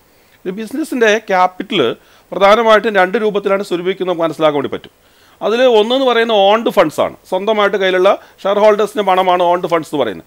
അതോടൊപ്പം തന്നെ നമുക്ക് കടം വാങ്ങിയ പണം ഉപയോഗിക്കാം ബോറോഡ് ഫണ്ട്സ് ഈ രണ്ട് ഫണ്ടിന്റെയും ഓൺഡ് ഫണ്ട്സ് എത്ര ബോറോഡ് ഫണ്ട്സ് എത്ര എന്ന് കോമ്പിനേഷൻ തീരുമാനിക്കുന്ന അത് അല്ലെങ്കിൽ ആ കോമ്പിനേഷൻ സൂചിപ്പിക്കുന്ന ആശയമാണ് ക്യാപിറ്റൽ സ്ട്രക്ചർ എന്ന് പറയുന്നത്. അപ്പോൾ ക്യാപിറ്റൽ സ്ട്രക്ചറുമായി ബന്ധിപ്പിച്ചൊരു ചോദ്യം പ്രധാന വളരെ പ്രധാനമാണ്. അതാണ് നമ്മൾ ഇനി ചർച്ച ചെയ്യുന്നത്. What you mean by capital structure also explain any three factors determining its choice അപ്പോൾ ഒരു ക്യാപിറ്റൽ സ്ട്രക്ചറിൽ എത്ര ഓൺഡ് ഫണ്ട്സ് വേണം എത്ര ബോറോഡ് ഫണ്ട്സ് വേണം തീരുമാനം തീരുമാനമെടുക്കുന്ന വളരെ ക്രൂഷ്യൽ ആയിട്ടുള്ള ഒരു കാര്യമാണ്. അപ്പോൾ ratio of various sources of funds invested in the business it is capital structure അപ്പോൾ എത്ര ഏതൊക്കെ തരത്തിലുള്ള ഫണ്ടുകൾ എത്ര ഉപയോഗിക്കുന്നു എന്നുള്ളതിന്റെ ആ കോമ്പിനേഷനെയാണ് നമ്മൾ ക്യാപിറ്റൽ സ്ട്രക്ചർ എന്നുകൊണ്ട് ഉദ്ദേശിക്കുന്നത്. അപ്പോൾ അതിനെ നിർണയിക്കുന്ന പ്രധാന ഘടകങ്ങൾ എന്ന് പറയുന്നത് ഒന്ന് ക്യാഷ് ഫ്ലോ പൊസിഷനാണ് ബിസിനസ്സിന് ആവശ്യത്തിന് പണം ഉണ്ടാവുന്നുണ്ടോ? അല്ലെങ്കിൽ പണം ഉണ്ടാവേണ്ടതുണ്ടോ? ക്യാഷ് ഫ്ലോ പൊസിഷൻ ഫയർ ആണോ? ഇത് നോക്കിയിട്ട് വേണം നമുക്ക് കടം വാങ്ങണോ? സ്വന്തം കയ്യിൽ പൈസ എടുക്കണോ എടുക്കണോ തീരുമാനിക്കാനുള്ളത്.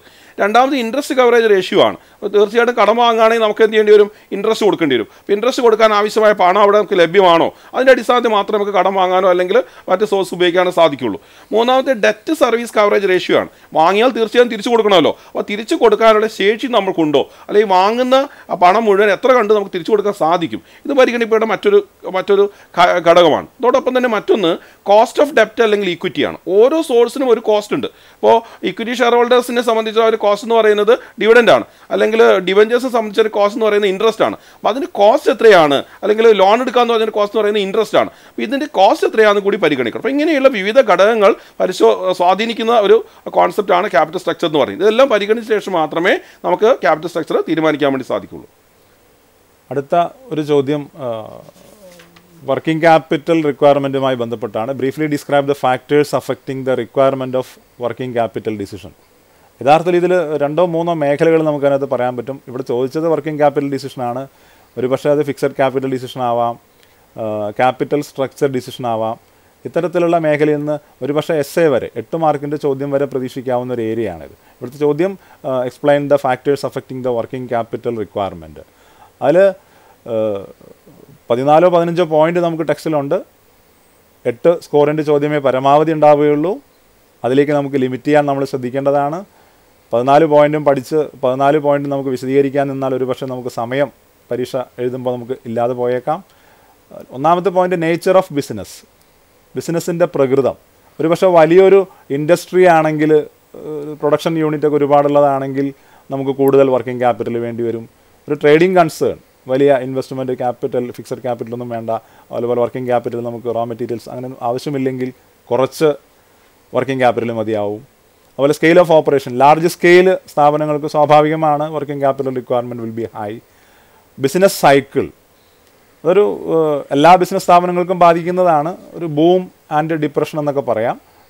സമൂഹത്തിലുണ്ടാവുന്ന സാമ്പത്തിക സ്ഥിതി സ്ഥിതിവിവരം അടിസ്ഥാനമാക്കിയുള്ള ഒരു സംഭവമാണ്. അത് സ്വാഭാവികമായും ബിസിനസ്സിനെയും ബാധിക്കും.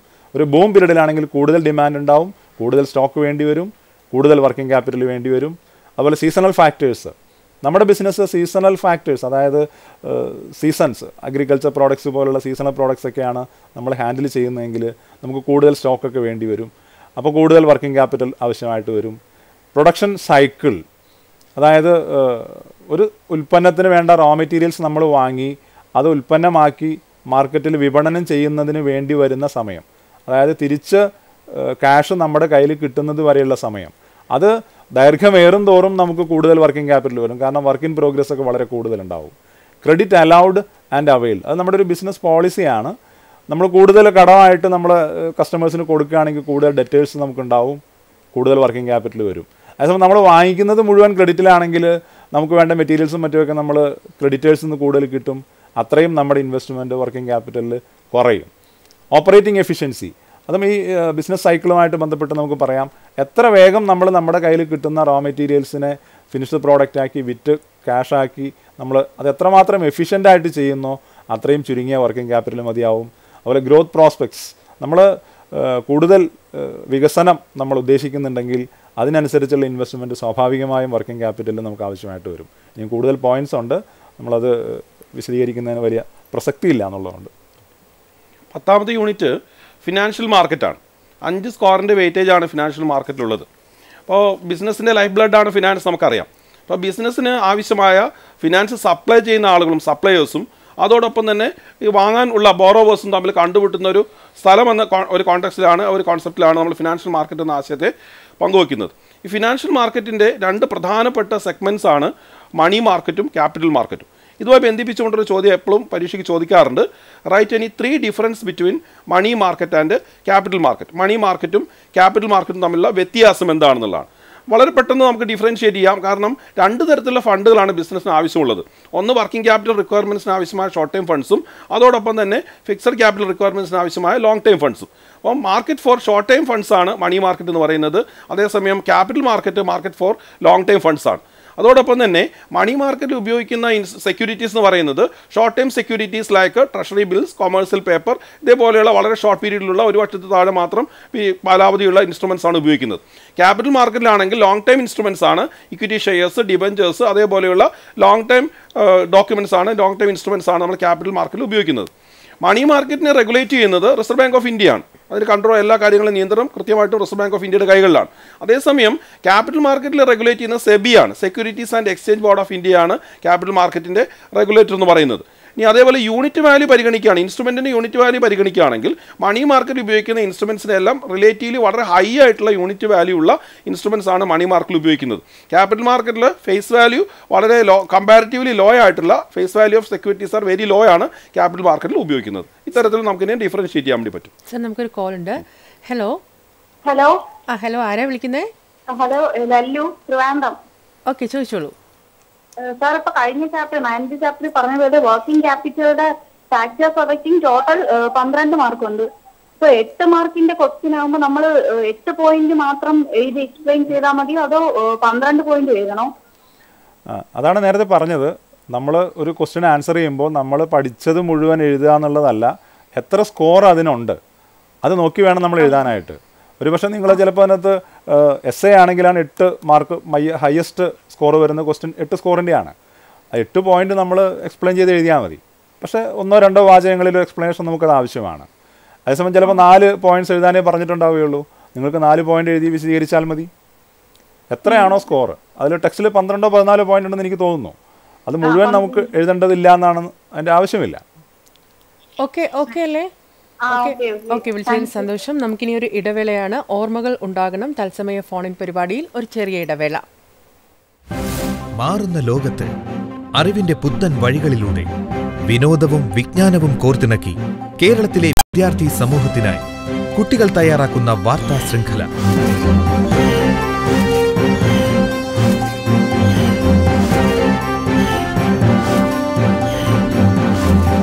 Little news.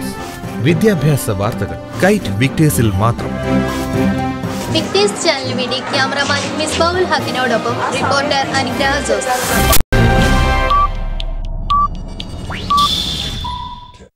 സ്വാഗതം ആരാണ്? പരീക്ഷയ്ക്ക് വേണ്ടി പഠിച്ചോണ്ട് ഡൗട്ട് ചോദിക്കാൻ വേണ്ടി വിളിച്ച അവയുടെ മോൾ ഭാഗം മാത്രം. ഔട്ടർ ലെയർ ഇളകി മാറുന്നു.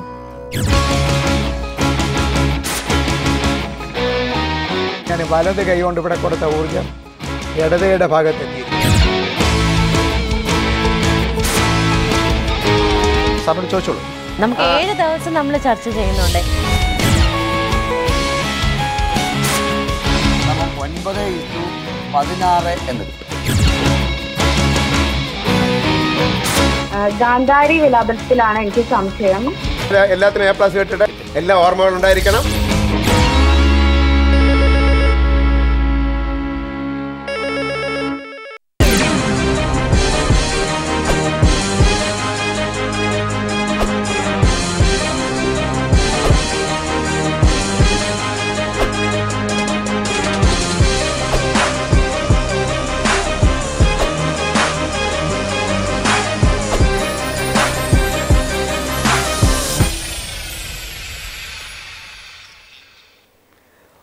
ഓർമ്മകൾ ഉണ്ടാകണം തത്സമയ ഫോണിൻ പരിപാടി തുടരുന്നു.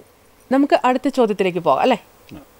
അടുത്തൊരു ചോദ്യം നേരത്തെ പറഞ്ഞ ഫിനാൻഷ്യൽ പ്ലാനിങ്ങുമായി ബന്ധപ്പെട്ട് ഫിനാൻസിങ് ഡിസിഷൻസ് അതുമായി ബന്ധപ്പെട്ടിട്ടെന്ന് പറയാവുന്നൊരു ചോദ്യമാണ്. കോർപ്പറേറ്റ് സെക്ടർ അവരുടെ ക്യാപിറ്റൽ റേസ് ചെയ്യുന്നതിനുള്ള ഏറ്റവും പ്രധാനപ്പെട്ട ഒരു സോഴ്സാണ് ഇഷ്യൂ ഓഫ് ഷെയർസ് എന്ന് പറയുന്നത്. They are using various methods explain any three methods of new issue of shares in the primary market primary മാർക്കറ്റിൽ ഷെയർ ഇഷ്യൂ ചെയ്തുകൊണ്ട് ഫണ്ട് റേസ് ചെയ്യുന്നതിനുള്ള വിവിധ രീതികളിൽ ഒരു മൂന്നെണ്ണമാണ് ഇവിടെ വിശദീകരിക്കാൻ പറഞ്ഞിരിക്കുന്നത്. നമ്മൾ അഞ്ച് കീ പോയിന്റ്സ് കൊടുത്തിട്ടുണ്ട്. ഒന്ന് ഓഫർ ത്രൂ പ്രോസ്പെക്ടസ് ഏറ്റവും കൂടുതൽ ഉപയോഗിക്കുന്ന ഒരു രീതിയാണ് പ്രോസ്പെക്ടസ് ഇഷ്യൂ ചെയ്യുക. പ്രാക്ടിക്കലി ഒരു അഡ്വർടൈസ്മെന്റ് എന്നൊക്കെ വേണമെങ്കിൽ പറയാം. An invitation to the public to invest in the shares or debentures of the company അപ്പോൾ അങ്ങനെ ഒരു ഒരു പ്രൊപ്പഗൻഡ് അഡ്വർടൈസ്മെന്റ് കൊടുത്തുകൊണ്ട് ഷെയറിൽ ഇൻവെസ്റ്റ് ചെയ്യാനായിട്ട് ഇൻവൈറ്റ് ചെയ്യുക താല്പര്യമുള്ള ഒരു അപ്ലിക്കേഷൻ വാങ്ങി ചെയ്യുക എന്നുള്ളത് ഓഫർ ഫോർ സെയിൽ ഒരുപക്ഷെ പുതിയ സ്ഥാപനങ്ങൾക്കോ അല്ലെങ്കിൽ അത്രയേറെ എസ്റ്റാബ്ലിഷ് അല്ലാത്ത സ്ഥാപനങ്ങൾക്കോ ഇങ്ങനെ പ്രോസ്പെക്ടസ് ഇഷ്യൂ ചെയ്തുകൊണ്ട് ഫണ്ട് റേസ് ചെയ്യാൻ ചിലപ്പോൾ കഴിഞ്ഞെന്ന് വരില്ല. അങ്ങനെ ആകുമ്പോൾ അവരൊരു ഇന്റർമീഡിയറിയെ ഒരുപക്ഷെ സ്റ്റോക്ക് ബ്രോക്കറെയോ അല്ലെങ്കിൽ ഫിനാൻഷ്യൽ ഏജൻസിയോ സമീപിച്ച് ടോട്ടൽ എല്ലാ ഷെയറുകളും അവർക്കൊരു എഗ്രീഡ് പ്രൈസിന് ഒരു ഒരു ഡിസ്കഷൻ നടത്തി ഒരു ഫിക്സ് ചെയ്ത ഒരു പ്രൈസിന് കൊടുക്കുന്നതാണ് offer for sale private placement അത്ര വൻകിട കമ്പനികളല്ലാത്തവർ സ്മോൾ സ്കെയിൽ കമ്പനീസ് അവരുടെ റിലേറ്റീവ്സിനോ അല്ലെങ്കിൽ ഫ്രണ്ട്സിനോ ഒക്കെ ഷെയർ ഇഷ്യൂ ചെയ്തുകൊണ്ട് ചെയ്യുന്ന ഒരു പരസ്യം കൊടുക്കാതെ പ്രോസ്പെക്ടസ് ഇഷ്യൂ ചെയ്യാതെ സ്വകാര്യമായിട്ട് മൊബിലൈസ് ചെയ്യുന്ന രീതിയാണ് പ്രൈവറ്റ് പ്ലേസ്മെന്റ് റൈറ്റ്സ് ഇഷ്യൂ ഒരു ഒരു പ്രത്യേക രീതിയാണ്. ഒരു കെൽ ഇഷ്യൂ ചെയ്ത ഷെയർസ് വീണ്ടും ഇഷ്യൂ ചെയ്യുകയാണെങ്കിൽ അത് എക്സിസ്റ്റിംഗ് ഷെയർ ഹോൾഡേഴ്സിന് ഓഫർ ചെയ്തിരിക്കണമെന്നൊരു നിയമമുണ്ട്. അതിന്റെ അടിസ്ഥാനത്തിൽ കൊടുക്കുന്നതാണ് rights issue so shares which has already been issued earlier should be offer to the existing share holders അപ്പോൾ അത്തരം ഒരു സാഹചര്യമാണ് റൈറ്റ് ഇഷ്യൂ എന്ന് പറയുന്നത്. അവസാനത്തെ ഈ ഐ പി ഒസ് ഇപ്പോൾ മിക്കവാറും എല്ലാ കമ്പനികളും ഫോളോ ചെയ്യുന്ന ഒരു രീതിയാണ് ഇലക്ട്രോണിക് രീതിയാണ്. സ്റ്റോക്ക് ബ്രോക്കേഴ്സിലൂടെ ഷെയർ വിൽക്കുക ആ രീതിയിൽ ചെയ്യുന്ന ഇലക്ട്രോണിക് സിസ്റ്റം ഉപയോഗിച്ചുകൊണ്ട് ചെയ്യുന്ന സ്റ്റോക്ക് മാർക്കറ്റും സ്റ്റോക്ക് ബ്രോക്കേഴ്സിനെയും ഉപയോഗിച്ചുകൊണ്ട് ചെയ്യുന്ന ഒരു രീതിയാണ് ഈ ഐ പി ഒസ് എന്ന് പറയുന്നത്. നമ്മൾ നേരത്തെ കണ്ടു ക്യാപിറ്റൽ മാർക്കറ്റിനെ നിയന്ത്രിക്കുന്ന റെഗുലേറ്റർ ആണ് സെബി എന്ന് കണ്ടു. Securities and Exchange Board of India. ഇപ്പോൾ സെബിയുമായി ബന്ധിപ്പിച്ചുകൊണ്ട് എപ്പോഴും ഒരു ചോദ്യം പരീക്ഷാ ചോദ്യ പേപ്പറിൽ ഉണ്ടാവാറുണ്ട്. അപ്പോൾ ഏറ്റവും റെലവന്റ് ആയിട്ട് ചോദ്യമാണ് നമ്മൾ ഡിസ്കസ് ചെയ്യുന്നത്. SEBI is considered as the watch dog of Indian capital market evaluate the statement in relation to its functions സെബിയുടെ ഫംഗ്ഷനുമായി ബന്ധിപ്പിച്ചുകൊണ്ട് ചോദ്യമാണ്. ഇനി ആ ചോദ്യം തന്നെ നേരിട്ട് വേണമെങ്കിൽ ചോദിക്കാം. Explain any three functions of SEBI. ഇപ്പോൾ സെബിയെ സംബന്ധിച്ചിടത്തോളം മൂന്ന് തരത്തിലുള്ള ഫങ്ഷൻസ് ആണ് സെബി നിർവഹിക്കുന്നത്. ഒന്ന് റെഗുലേറ്ററി ഫങ്ഷൻസ് ആണ് രണ്ടാമത് ഡെവലപ്മെന്റ് ഫങ്ഷൻസ് ആണ് മൂന്നാമത്തത് പ്രൊട്ടക്റ്റീവ് ഫങ്ഷൻസ് ആണ്. റെഗുലേറ്ററി ഫങ്ഷൻസ് എന്ന് വെച്ചാൽ അവിടെ നടക്കുന്ന പ്രവർത്തനങ്ങളെ കൃത്യമായി ഇടപെട്ട് നിയന്ത്രിക്കുക എന്നുള്ളതാണ്.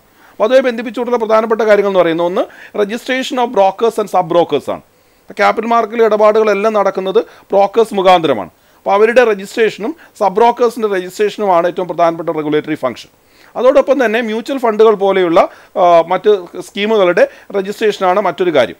ഇതേപോലെയുള്ള കാര്യങ്ങളിലൂടെയാണ് റെഗുലേറ്ററി ഫംഗ്ഷൻ നിർവഹിക്കുന്നത്. രണ്ടാമത്തത് ഡെവലപ്മെന്റ് ഫങ്ഷൻസ് ആണ്. ഡെവലപ്മെന്റ് ഫംഗ്ഷൻ എന്ന് വെച്ചാൽ ഏത് തരത്തിലാണ് ക്യാപിറ്റൽ മാർക്കറ്റിന്റെ പ്രവർത്തനങ്ങളെ ഇമ്പ്രൂവ് ചെയ്യാൻ വേണ്ടി സാധിക്കുക. അതിനാവശ്യമായ പ്രധാ കാര്യങ്ങളാണ് ഡെവലപ്മെന്റ് ഫംഗ്ഷനിൽ വരുന്നത്. ഒന്നാമത് training of brokers and intermediaries ആണ്. ബ്രോക്കേഴ്സിന് അതേപോലെ ഇന്റർ ഇടനിലക്കാർക്കും ആവശ്യമായിട്ടുള്ള പരിശീലനം നൽകുക എന്നുള്ള ഈ ട്രാൻസാക്ഷനൊക്കെ ആയി ബന്ധിപ്പിച്ചുകൊണ്ട്. അതോടൊപ്പം തന്നെ research and publication of materials ഇതുമായി ബന്ധിപ്പിച്ചുകൊണ്ടുള്ള വിവിധ തരം പ്രസിദ്ധീകരണങ്ങൾ നടത്തുക ആളുകൾക്ക് ഇൻഫർമേഷൻ കിട്ടുന്ന രൂപത്തിൽ. മൂന്നാമത്തെ പ്രൊട്ടക്റ്റീവ് ഫങ്ഷൻസ് ആണ്. സംരക്ഷണമാണ് ഇവിടെ ഉദ്ദേശിക്കുന്നത്. സംരക്ഷണം എന്ന് വെച്ചാൽ തീർച്ചയായിട്ടും ഇൻവെസ്റ്റേഴ്സിന്റെ സംരക്ഷണമാണ്. ഇൻവെസ്റ്റേഴ്സിനെ സംബന്ധിച്ചിടത്തോളം protect the interest of investors അവരെ സംബന്ധിച്ചിടത്തോളം ഏറ്റവും ജെന്യൂൻ ആയിട്ട് ഇവിടുത്തെ കാര്യങ്ങൾ നടന്നു പോകുന്നുണ്ട് എന്ന രൂപത്തിലേക്ക് കാര്യങ്ങൾ ചെയ്യുക. അതോടൊപ്പം തന്നെ പ്രൊഹിബിഷൻ ഓഫ് ഇൻസൈഡർ ട്രേഡിംഗ് വളരെ ഒരിക്കലും സംഭവിക്കാൻ പാടില്ലാത്ത കാര്യമാണ് ഇൻസൈഡ് ട്രേഡിംഗ്. വലിയ ഓർഗനൈസേഷൻസ് ഒക്കെ അവർക്ക് ബന്ധപ്പെട്ട ആളുകൾ ചില വളരെ ക്രൂഷ്യൽ ആയിട്ടുള്ള ഇൻഫർമേഷൻ അടിസ്ഥാനത്തിൽ ചില ഇടപാടുകൾ നടത്തി പോകുന്ന രീതിയാണ്. അപ്പോൾ അത് ഒരിക്കലും സാധ്യമാകാൻ പാടില്ല. കാരണം അത് യഥാർത്ഥ ഇൻവെസ്റ്റേഴ്സിനെ താല്പര്യത്തിനായിരിക്കുന്നതാണ്. ഇത്തരത്തിലുള്ള കാര്യങ്ങളൊക്കെ എതിർക്കുക അല്ലെങ്കിൽ അതിന് നിന്ന് സംരക്ഷണം നൽകുക എന്നുള്ളതാണ് പ്രൊട്ടക്റ്റീവ് ഫംഗ്ഷൻ കൊണ്ട് ഉദ്ദേശിക്കുന്നത്. ഇങ്ങനെ മൂന്ന് തരത്തിലുള്ള ഫംഗ്ഷനാണ് സെബി നിർവഹിക്കുന്നത്. നമുക്ക് അടുത്ത അധ്യായത്തിലേക്ക് പോകാമെന്ന് തോന്നുന്നു. പതിനൊന്നാം അധ്യായം മാർക്കറ്റിംഗ് പന്ത്രണ്ട് സ്കോറ് ഉള്ള വെയിറ്റേജ് ഉള്ള ഒരു അധ്യായമാണ്. ഒരുപക്ഷെ നമ്മുടെ പാഠഭാഗങ്ങളിൽ ഏറ്റവും വലിയ അധ്യായവും ഏറ്റവും കൂടുതൽ വെയിറ്റേജ് ഉള്ള അധ്യായവും മാർക്കറ്റിംഗ് ആണ്. ചോയ്സ് ഉൾപ്പെടെ ട്വന്റി ഫൈവ് പെർസെന്റ് ചോയ്സ് ഉള്ളത് നിങ്ങൾക്ക് അറിയാവുന്നതാണ്. അതുൾപ്പെടെ പതിനഞ്ച് മാർക്ക് വരെ ചിലപ്പോൾ അതിനകത്ത് ചോദിച്ചേക്കാം.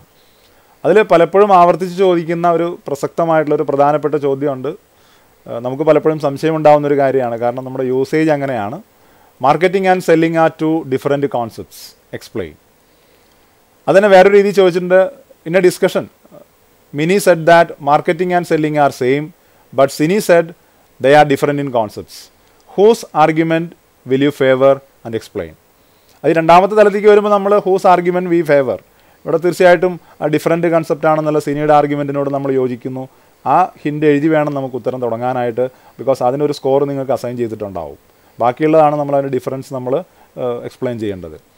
അതിൽ മാർക്കറ്റിംഗ് നമുക്ക് പറയുകയാണെങ്കിൽ ഇറ്റ്സ് എ വൈഡ് ടേം നമുക്കറിയാം ഒരുപാട് ഫങ്ഷൻസ് വരുന്ന ഒരു വളരെ വിശാലാർത്ഥത്തിലുള്ള ഒരു പദമാണ് മാർക്കറ്റിംഗ് ബട്ട് സെല്ലിംഗ് എന്ന് പറയുന്നത് മാർക്കറ്റിങ്ങിന്റെ ഒരു എലമെന്റ് മാത്രമാണ്. It's only a part of marketing process marketing നമ്മൾ ഫോക്കസ് ചെയ്യുന്നത് സാറ്റിസ്ഫൈയിങ് ദ കസ്റ്റമർ നീഡ്സ് ഉപഭോക്തൃ സംതൃപ്തിയാണ് മാർക്കറ്റിങ്ങിന്റെ കേന്ദ്രബിന്ദു എന്ന് പറയുന്നത്. ബട്ട് സെല്ലിങ്ങിൽ ഒറ്റ കാര്യമേ ഉദ്ദേശിക്കുന്നുള്ളൂ. It simply the transfer of ownership from the seller to the buyer അതുപോലെ profit through customer satisfaction market orientation marketing orientation തന്നെ അതിലാണ്. കസ്റ്റമർ സാറ്റിസ്ഫാക്ഷൻ ആണ് അവിടെ പ്രയോറിറ്റി അതിലൂടെ ലാഭം ഉണ്ടാക്കുക എന്നുള്ളത് മാത്രമാണ് ബിസിനസ് ഓർഗനൈസേഷൻസ് ടാർഗറ്റ് ചെയ്യുന്നത്.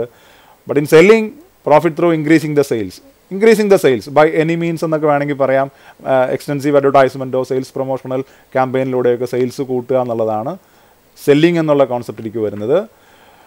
മാർക്കറ്റിംഗ് എന്നുള്ള ഫങ്ഷൻ അത് it starts well before the production and last till the life of it ഒരു പ്രോഡക്റ്റ് ഉൽപ്പാദിപ്പിക്കുന്നതിന് എത്രയോ മുമ്പ് ആരംഭിക്കുന്നതാണ് മാർക്കറ്റിംഗ് എന്ന് പറയുന്നത് because marketing functions begins with identifying the needs of the consumers അതിന്റെ അടിസ്ഥാനത്തിൽ അത് വളരെ നേരത്തെ ആരംഭിക്കുന്നു ആൻഡ് ആഫ്റ്റർ സെയിൽ സർവീസ് ഉൾപ്പെടെയുള്ള മെയിന്റനൻസ് ഉൾപ്പെടെയുള്ള കാര്യങ്ങൾ ഉൾപ്പെടെ പ്രോഡക്റ്റ് വിറ്റ് കഴിഞ്ഞ് എത്ര കാലം പ്രോഡക്റ്റ് നിലനിൽക്കുന്നോ അത്രയും കാലം ലാസ്റ്റ് ചെയ്യുന്നൊരു കൺസെപ്റ്റാണ് marketing selling simply after the completion of production and finish as soon as the sales is over ownership hand over ചെയ്ത് കഴിഞ്ഞാൽ selling process is over develop product as per customer needs പറഞ്ഞ പോലെ കസ്റ്റമേഴ്സിന്റെ ആവശ്യങ്ങളനുസരിച്ച് product develop ചെയ്യുക അത് identify ചെയ്തുകൊണ്ട് വേണം. അവരുടെ ആവശ്യം എന്താണോ അതിനുള്ള പ്രോഡക്റ്റ്സ് ആണ് ഡിസൈൻ ചെയ്യുന്നത്.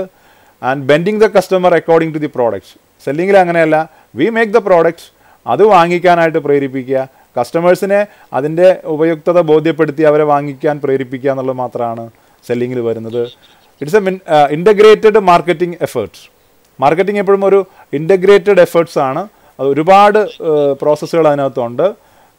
പക്ഷേ സെല്ലിങ്ങിൽ വരുമ്പം രണ്ടേ രണ്ട് എലമെന്റ് മാത്രമാണ് sales promotion and persuading the customers to buy the product അത്രേ അതിനകത്ത് സെല്ലിങ്ങിൽ വരുന്നുള്ളൂ. ഇതിലും ഈ പറഞ്ഞ പോലെ കൂടുതൽ പോയിന്റ്സ് ഉണ്ട്. സ്കോർ അനുസരിച്ച് വേണം നമ്മൾ മാർ ഐ മീൻ ആൻസർ ചെയ്യേണ്ടത്. നമ്മൾ ഇന്ന് കാണുന്ന രൂപത്തിലേക്ക് ഈ മാർക്കറ്റിങ്ങിന്റെ ആശയം രൂപപ്പെട്ട് വരുന്നത് ഒരുപാട് സ്റ്റേജസിലൂടെയാണ് അപ്പോൾ അതുമായി ബന്ധിപ്പിച്ചുകൊണ്ടൊരു ചോദ്യമാണ്. Narrate the evolution of marketing concepts marketing എന്ന ഈ ആശയം ഏതെല്ലാം സ്റ്റേജസിലൂടെയാണ് ഡെവലപ്പ് ചെയ്ത് വന്നത്? അപ്പോൾ പ്രധാനമായിട്ട് അഞ്ച് സ്റ്റേജിലൂടെയാണ് ഇത് ഡെവലപ്പ് ചെയ്ത് വന്നത് നമുക്ക് കാണാൻ വേണ്ടി സാധിക്കും. ആദ്യ കാലഘട്ടത്തിൽ ആദ്യത്തേത് പ്രൊഡക്ഷൻ കോൺസെപ്റ്റാണ് പ്രൊഡക്ഷൻ കോൺസെപ്റ്റ് എന്ന് വെച്ചാൽ ആദ്യ കാലഘട്ടത്തിൽ ഇമ്പോർട്ടൻസ് മുഴുവൻ നൽകിയിരുന്നത് പ്രൊഡക്ഷൻ പ്രോസസ്സിനാണ് പരമാവധി ഉൽപ്പാദിപ്പിക്കുക എന്നതാണ് പ്രൊഡക്ഷൻ കോൺസെപ്റ്റ് മുന്നിലേക്ക് വെക്കുന്ന ആശയം. എന്നാൽ കുറച്ച് കാലം കഴിയുന്നതോട് കൂടിയിട്ട് ആ പുതിയ മാർക്കറ്റിങ്ങിന്റെ ഒരു പുതിയ ഡെവലപ്മെന്റ് ഉണ്ടാവുകയാണ് പ്രൊഡക്ഷനിൽ നിന്നും പ്രോഡക്റ്റിലേക്ക് ഇമ്പോർട്ടൻസ് ഷിഫ്റ്റ് ചെയ്യപ്പെടുന്നു. അപ്പോൾ ഗുണമേന്മയ്ക്കാണ് പ്രാധാന്യം. എങ്ങനെ കൺസ്യൂമർ ഇഷ്ടപ്പെടുന്ന അല്ലെങ്കിൽ അവർ പ്രതീക്ഷിക്കുന്ന ഗുണമേന്മയുള്ള ഉൽപ്പന്നം ഉണ്ടാക്കുക എന്ന ഇതിലേക്ക് ഷിഫ്റ്റ് ചെയ്യപ്പെട്ടു. പ്രോഡക്റ്റ് കോൺസെപ്റ്റ് അതിനുശേഷം പിന്നീട് സെല്ലിംഗ് കോൺസെപ്റ്റിലേക്കാണ് മാർക്കറ്റിംഗ് എത്തി എത്തി നിൽക്കുന്നത്. സെല്ലിംഗ് കോൺസെപ്റ്റിന്റെ പ്രത്യേകത ഏത് വിധേനയും വിൽക്കുക എന്നുള്ളതാണ്. വിൽക്കുക എന്നുള്ളതാണ് പ്രധാനം. പ്രൊഡക്ഷനും പ്രോഡക്റ്റും അല്ല എന്നുള്ള നിലയ്ക്ക് അത് വളർന്നു വരികയും. പിന്നീട് മാർക്കറ്റിംഗ് എന്ന മാർക്കറ്റിംഗ് കോൺസെപ്റ്റ് എന്ന രൂപത്തിലേക്ക് മാറുന്നു. അവിടെ കൺസ്യൂമർ സാറ്റിസ്ഫാക്ഷൻ വലിയ പ്രാധാന്യം വരികയും കൺസ്യൂമർക്കാണ് ഏറ്റവും പ്രാധാന്യം എന്ന അടിസ്ഥാനത്തിലാണ് അവിടെ മാർക്കറ്റിംഗ് കോൺസെപ്റ്റ് ഡെവലപ്പ് ചെയ്ത് വരുന്നത്. ഇന്ന് നമ്മൾ കാണുന്ന മാർക്കറ്റിംഗിന്റെ കോൺസെപ്റ്റ് സൊസൈറ്റൽ മാർക്കറ്റിംഗ് കോൺസെപ്റ്റ് അല്ലെങ്കിൽ സോഷ്യൽ മാർക്കറ്റിംഗ് കോൺസെപ്റ്റ് എന്ന കോൺടെക്സ്റ്റിലാണുള്ളത് എന്ന് വെച്ചാൽ സമൂഹത്തിന്റെ പൊതുവായ വികാരങ്ങളെ കൂടി പരിഗണിച്ചുകൊണ്ട് വേണം മാർക്കറ്റിംഗ് എന്ന ആശയത്തിലേക്കാണ് എത്തി നിൽക്കുന്നത്.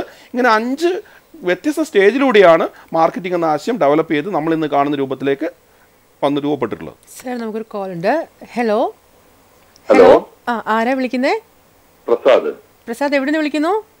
തിരുവനന്തപുരം മാഡം. ഓക്കെ പ്രസാദ് ചോദിക്കൂ. മാഡം കഴിഞ്ഞ ലാസ്റ്റ് ഇയറിലെ ക്വസ്റ്റ്യൻ പേപ്പേഴ്സ് ഞാൻ റിവ്യൂ ചെയ്യാറുണ്ടായിരുന്നു. ആ. ലാസ്റ്റ് ഇയറിലെ ക്വസ്റ്റ്യൻ പേപ്പേഴ്സ് റിവ്യൂ ചെയ്തുകൊണ്ട് എനിക്ക് ബെനിഫിറ്റ് ഉണ്ടോ? പ്രീവിയസ് ഇയേഴ്സ് ക്വസ്റ്റ്യൻ പേപ്പർ തീർച്ചയായിട്ടും നമുക്കത് റിവ്യൂ ചെയ്യുന്നത് നമുക്കൊരു എക്സാമിനേഷൻ പാറ്റേൺ മനസ്സിലാക്കാൻ നമുക്ക് സഹായകരമായിരിക്കും. ഒന്ന് എത്ര മാർക്കിന്റെ ഒബ്ജക്റ്റീവ് ടൈപ്പ് ക്വസ്റ്റ്യൻസ് ഉണ്ട്. ഷോർട്ട് ആൻസർ അതൊക്കെ ഒന്ന് മനസ്സിലാക്കുന്നത് നമുക്ക് ഉപകാരപ്രദമായിരിക്കും. മാത്രമല്ല ക്വസ്റ്റ്യൻസ് നമ്മൾ ആൻസർ ചെയ്യുമ്പോൾ നമുക്കൊരു ഒരു ടൈം ഫാക്ടർ പരീക്ഷയ്ക്ക് എപ്പോഴും സംഭവിക്കാറുള്ളതാണ്. പലപ്പോഴും കുട്ടികൾക്ക് പറ്റുന്നൊരു പ്രശ്നമെന്ന് പറയണത് അവർ പഠിച്ച വിഷയങ്ങൾ നന്നായിട്ട് പഠിച്ച ചോദ്യങ്ങൾ വളരെ നന്നായിട്ട് എഴുതി പോകും. ഒരുപക്ഷെ നാല് മാർക്കിന്റെ ചോദ്യമായിരിക്കാം. അത് നന്നായിട്ട് പഠിച്ചതിന് എട്ടോ പത്തോ പോയിന്റ് നേരത്തെ ഒരു സംശയത്തിൽ ചോദിച്ച പോലെ വളരെ കൂടുതലൊക്കെ എഴുതി പോവാം. അപ്പോൾ തീർച്ചയായിട്ടും അത്തരം ക്വസ്റ്റ്യൻ പേപ്പറുകൾ റിവ്യൂ ചെയ്യുന്നത് നമുക്ക് കൃത്യമായ പ്ലാനിങ്ങിനും അതുപോലെ ഒരു അഞ്ചോ ആറോ ക്വസ്റ്റ്യൻസ് നമ്മളൊന്ന് ക്വസ്റ്റ്യൻ പേപ്പറുകളൊന്ന് റിവൈൻഡ് ചെയ്ത് കഴിഞ്ഞാൽ ആവർത്തിച്ചു വരുന്ന ചോദ്യങ്ങൾ നമുക്ക് മനസ്സിലാക്കാൻ പറ്റും. ഓക്കെ പ്രസാദ് വിളിച്ചതിൽ സന്തോഷം. സാർ നമുക്ക് സമയം കുറവാണ്. അടുത്ത ക്വസ്റ്റ്യനിലേക്ക് പ്ലീസ് നമ്മൾ ഇനി മാർക്കറ്റിങ്ങിന്റെ ഡിഫറെന്റ് എലമെൻസുമായി ബന്ധിപ്പിച്ചുകൊണ്ടൊരു ചോദ്യം എപ്പോഴും പരീക്ഷാ ചോദ്യ പേപ്പറിൽ ഉണ്ടാവാറുണ്ട്. അതായത് identify the four Ps in marketing and explain them P എന്ന വാക്ക് ഉപയോഗിക്കാനുള്ള കാരണം എന്താണെന്ന് വെച്ച് കഴിഞ്ഞാൽ ഈ പി യിലാണ് നമ്മളെ മാർക്കറ്റിങ്ങിന്റെ എലമെന്റ്സ് എല്ലാം സ്റ്റാർട്ട് ചെയ്യുന്നത്. പ്രോഡക്റ്റ് പ്രൈസ് പ്ലേസ് പ്രൊമോഷൻ ഈ നാല് ഘടകങ്ങളാണ് നമ്മൾ മാർക്കറ്റിംഗ് എന്ന് എന്നറിയപ്പെടുന്നത്. അല്ലെങ്കിൽ നമ്മൾ ഇതിനെ നാലിനെയും കൂടി ചേർത്തുകൊണ്ട് മാർക്കറ്റിംഗ് മിക്സ് എന്ന് വിളിക്കും. പ്രോഡക്റ്റ് എന്ന് വെച്ചാൽ ഉൽപ്പന്നത്തിൽ നിന്ന് എന്താണ് ഒരാൾ പ്രതീക്ഷിക്കുന്നത്? അതിനെ നമ്മൾ പ്രോഡക്റ്റ് എന്ന് വിളിക്കുന്നത്. ആ പ്രോഡക്റ്റിന്റെ എക്സ്ചേഞ്ച് വാല്യൂ ആണ് പ്രൈസ് ഇനി എങ്ങനെ അത് കൺസ്യൂമറിലേക്ക് എത്തിക്കാം എന്നതാണ് പ്ലേസ് അല്ലെങ്കിൽ ഫിസിക്കൽ ഡിസ്ട്രിബ്യൂഷനിലൂടെ നമ്മൾ ചർച്ച ചെയ്യുന്നത്. അല്ലെങ്കിൽ അത് ബന്ധിപ്പിച്ച ഘടകമാണ് പ്ലേസ് അല്ലെങ്കിൽ ഫിസിക്കൽ ഡിസ്ട്രിബ്യൂഷൻ അവസാനം ഏത് തരത്തിലാണ് നമുക്ക് ഈ സെയിൽസ് വർദ്ധിപ്പിക്കാൻ വേണ്ടി സാധിക്കുക? അല്ലെങ്കിൽ കൺസ്യൂമറെ ഡിമാൻഡ് വർദ്ധിപ്പിക്കാൻ വേണ്ടി സാധിക്കുക എന്നുള്ള ഘടകമാണ് പ്രൊമോഷൻ ഈ നാല് ഘടകങ്ങളെ ചേർത്തുകൊണ്ട് നമ്മൾ ഇതിനെ മാർക്കറ്റിംഗ് മിക്സ് എന്ന് വിളിക്കാറുണ്ട്. ഇതെല്ലാം സ്റ്റാർട്ട് ചെയ്യുന്ന പീലായതുകൊണ്ടാണ് ഫോർ പീസ് എന്ന് നമ്മൾ അറിയപ്പെടുന്നത്. Product price place promotion sir നമുക്കൊരു കോൾ ഉണ്ട്. സാർ നമുക്കൊരു കോൾ ഉണ്ട്. ഹലോ ഹലോ ആ ആരാ വിളിക്കുന്നത്? എവിടുന്നാ? ഹലോ ഹലോ ആ പറഞ്ഞോളൂ. ആരാ വിളിക്കുന്നത്? ഷെറോമ ചോദിക്കൂ. ഷെറോമ ചോദിച്ചോളൂ. എനിക്ക് സെബിയുടെയും മാർക്കറ്റിംഗിന്റെ ഒന്നുകൂടി ആ ഡിഫറൻഷിയേറ്റ് ചെയ്ത് പറഞ്ഞു തരാമോ ഒരിക്കൽ കൂടി ചോദ്യം. ഷെറോമ ഒന്നുകൂടി ചോദിക്കൂ. മാർക്കറ്റിംഗിന്റെയും സെല്ലിംഗിന്റെയും. SEBI and marketing. സെല്ലിംഗിന്റെയും മാർക്കറ്റിംഗിന്റെ difference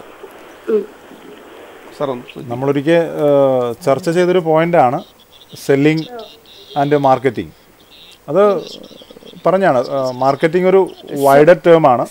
Sheroma Sheroma selling and marketing വളരെ വിശദമായി നേരത്തെ അധ്യാപകർ പറഞ്ഞിരുന്നു. അപ്പോൾ നമ്മുടെ ഇതിന്റെ റീടെലികാസ്റ്റ് ടൈം ഇത് കഴിയുമ്പോൾ പറയും.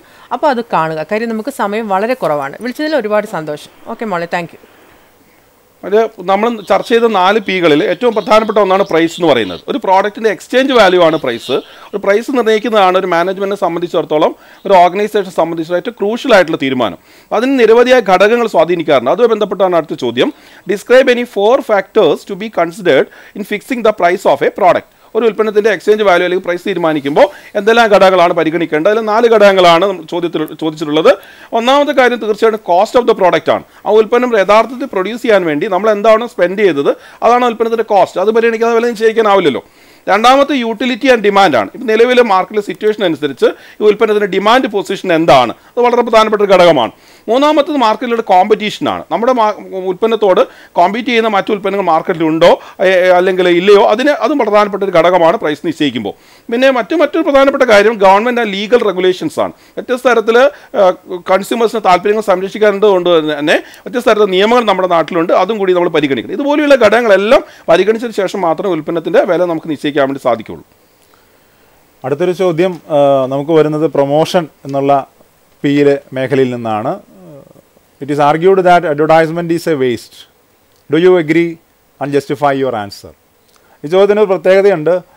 നമുക്കതിനെ ഒരു ഓപ്പൺ എൻഡഡ് ക്വസ്റ്റ്യൻ എന്ന് പറയാൻ പറ്റും. അതായത് you can agree or disagree അത് ശരിയാണെന്ന് വാദിക്കാം അല്ല എന്ന് നിങ്ങൾക്ക് വാദിക്കാം. പക്ഷേ നമ്മുടെ ഉത്തരം അത് ജസ്റ്റിഫൈ ചെയ്യുന്ന രീതിയിലായിരിക്കണം നമുക്കത് പ്രസന്റ് ചെയ്യേണ്ടത്. ഇഫ് യു ഡിസഗ്രി അതായത് അഡ്വർടൈസ്മെന്റ് വേസ്റ്റ് അല്ല എന്നാണ് നിങ്ങൾ പറയുന്നതെങ്കിൽ അവിടെ നമുക്ക് ഫോക്കസ് ചെയ്യേണ്ട പോയിന്റ് അഡ്വാന്റേജസ് ഓഫ് അഡ്വർടൈസ്മെന്റ് ആണ് അവിടെ ഉദ്ദേശിക്കുന്നത്. അത് it will help to have a mass reach ഒരുപാട് ആളുകളിലേക്ക് നമുക്ക് ഒരേ സമയം നമുക്ക് പരസ്യം എത്തിക്കാൻ കഴിയും. ചുരുങ്ങിയ സമയം കൊണ്ട് വളരെ വലിയൊരു കൺസ്യൂമർ ഇതിലേക്ക് നമുക്ക് എത്തിക്കാൻ അത് കഴിയും.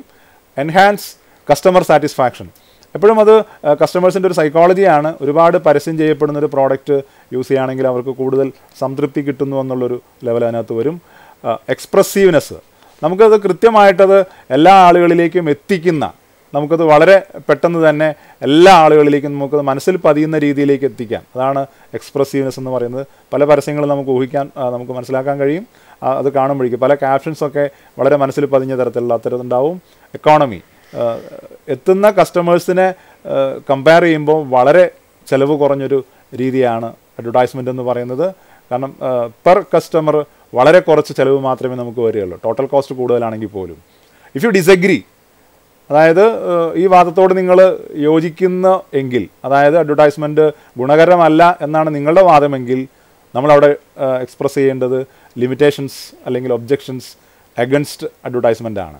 അങ്ങനെ ആകുമ്പോൾ നമുക്ക് പറയാവുന്ന പോയിന്റുകൾ ഇറ്റ് ഈസ് ലെസ് ഫോഴ്സ്ഫുൾ നമുക്കറിയാം എല്ലാ പരസ്യങ്ങളും കണ്ടിട്ട് നമ്മൾ എല്ലാ പ്രോഡക്റ്റ്സ് ഒന്നും വാങ്ങിക്കാറില്ല. അപ്പോൾ ഒരു പക്ഷേ എഫക്റ്റീവ് ആവാമെന്ന് നമുക്ക് പറയാൻ പറ്റില്ല. ലാക്ക് ഓഫ് ഫീഡ്ബാക്ക് നമ്മുടെ അഡ്വർടൈസ്മെന്റ് കണ്ട് നമ്മുടെ കസ്റ്റമേഴ്സ് എങ്ങനെയാണ് റെസ്പോണ്ട് ചെയ്യുന്നത് നമുക്ക് ഉടൻ അറിയാൻ കഴിയില്ല. ഒരു പക്ഷേ പേഴ്സണൽ സെല്ലിങ്ങിലൊക്കെ ആണെങ്കിൽ നമുക്ക് we will get the immediate feedback inflexibility കാരണം ഒരുപാട് പ്ലാൻ ചെയ്തുകൊണ്ടാണ് നമ്മളൊരു പരസ്യം തയ്യാറാക്കുന്നത്. ആ പരസ്യം കൊടുത്തു കഴിഞ്ഞാൽ അത് പിന്നീട് നമുക്ക് അതിനകത്തൊരു മാറ്റം വരുത്തുക എന്നുള്ളത് നമുക്ക് അത്ര എളുപ്പമുള്ള കാര്യമല്ല. ഒരുപക്ഷെ എൻവയോൺമെന്റിൽ ഒരു മാറ്റം ഉണ്ടെങ്കിൽ അതിനനുസരിച്ച് ഒരു പരസ്യത്തിൽ ചേഞ്ച് ആ ഫ്ലെക്സിബിലിറ്റി നമുക്കതിനകത്ത് കുറവാണ്. ലോ എഫക്റ്റീവ്നെസ് എത്രമാത്രം എഫക്റ്റീവ് ആണെന്നുള്ളത് ഒരുപക്ഷെ നമുക്ക് വളരെ കൂടുതൽ സമയമെടുത്ത് മാത്രമേ നമുക്ക് പറയാൻ പറ്റുള്ളൂ. ഒരുപക്ഷെ നമ്മുടെ ഇൻവെസ്റ്റ്മെന്റിനനുസരിച്ചുള്ള റിട്ടേൺസ് നമുക്കത് ഉറപ്പിക്കാൻ കഴിയണമെന്നില്ല. സർ നമുക്കൊരു കോൾ ഉണ്ട്. ഹലോ ഹലോ ഹലോ ഞാൻ വിളിക്കുന്നത് പിണറായി ഹയർ സെക്കൻഡറി സ്കൂളിലെ സുരേഷ് എന്ന് പറയുന്ന ഒരു കുട്ടിയാണ്. ചോദിച്ചോളൂ. ആ സാറേ നമുക്ക് ഈ അഡ്വർടൈസ്മെന്റിന്റെ പിന്നെ പ്രോവാക്സ് എന്ന രീതിയിൽ പലപ്പോഴും അതിന്റെ അഡ്വർടൈസ്മെന്റ് ലീഡ് ചെയ്യാറുണ്ട് ഹലോ? ഓക്കെ. ആ പലപ്പോഴും നമുക്ക് കിട്ടുന്ന അഡ്വർടൈസ്മെന്റ് പിന്നെ മിസ് ലീഡിംഗ് ആയിട്ട് വരാറുണ്ട് ചില സമയങ്ങളിലെല്ലാം. അതെ അതെ. അപ്പൊ അത് ഏത് രീതിയിലാണ് സാർ നമ്മൾ അതിന്റെ വിജിലന്റ് ആണ്ടെന്നുള്ളൊന്ന്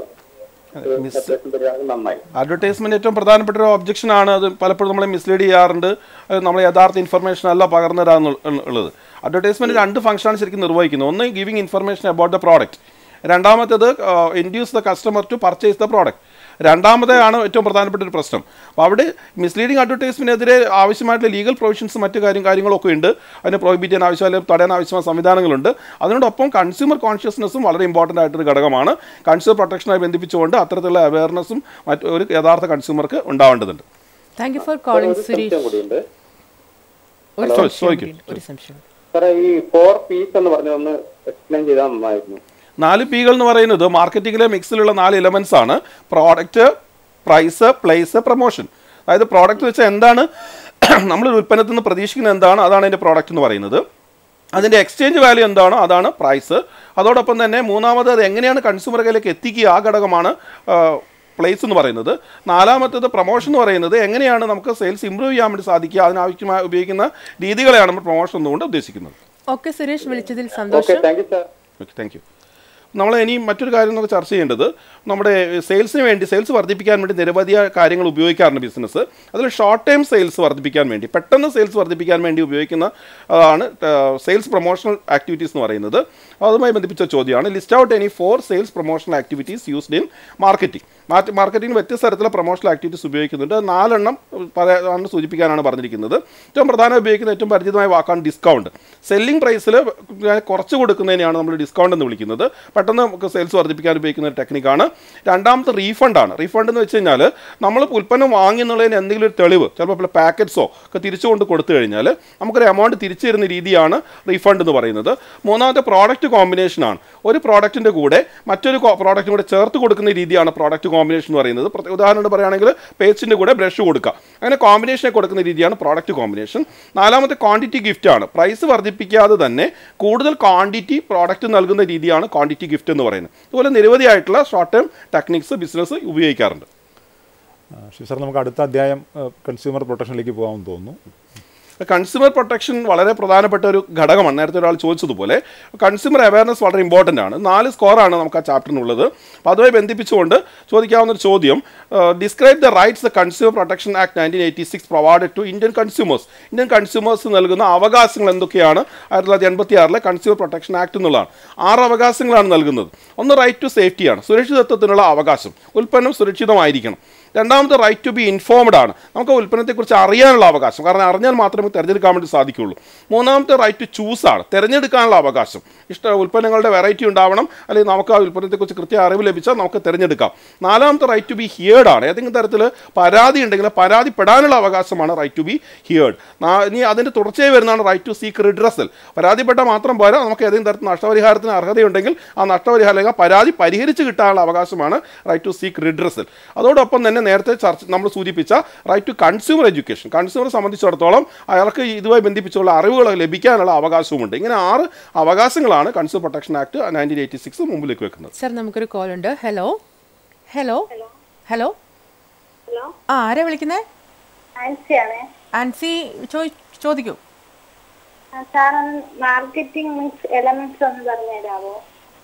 മാർക്കറ്റിംഗിന്റെ നാല് എലമെന്റ്സ് ആണ്. പ്രോഡക്റ്റ് പ്രൈസ് പ്ലേസ് പ്രൊമോഷൻ ഇതിനെ ചേർത്താണ് നമ്മൾ മാർക്കറ്റിംഗ് മിക്സ് എന്ന് പറയുന്നത്. ആൻസി നമ്മളിത് രണ്ട് പ്രാവശ്യം പറഞ്ഞു കഴിഞ്ഞു. മോൾ ഇതിന്റെ റിപ്പീറ്റ് ശ്രദ്ധിക്കുക. ഇന്ന് പുലർച്ചെ ഒരു മണിക്കും നാളെ രാവിലെ എട്ടരയ്ക്കും നാളെ ഉച്ചയ്ക്ക് രണ്ട് മണിക്കും. അപ്പോൾ ഇത് ആൻസർ കിട്ടും. കേട്ടോ? വിളിച്ചതിൽ സന്തോഷം. നമുക്ക് അടുത്ത ചോദ്യത്തിലേക്ക് പോകേണ്ടതുണ്ട്. State any three responsibilities of consumers to protect their own interest നമ്മൾ കഴിഞ്ഞ ചോദ്യം കൺസ്യൂമർ റൈറ്റ്സിനെ പറ്റിയായിരുന്നു. നമ്മുടെ റൈറ്റ്സിനെ പറ്റി നമ്മൾ ബോധവാന്മാരാണെങ്കിൽ പോലും നമ്മുടെ റെസ്പോൺസിബിലിറ്റീസ് പലപ്പോഴും നമ്മൾ ഫോളോ ചെയ്യാറില്ല. അതുകൊണ്ട് തന്നെ അതിനകത്തുള്ള വീഴ്ചകൾ സംഭവിക്കാറുള്ളത്. അത് നമ്മൾ കൃത്യമായിട്ട് നോക്കേണ്ടതുണ്ട്.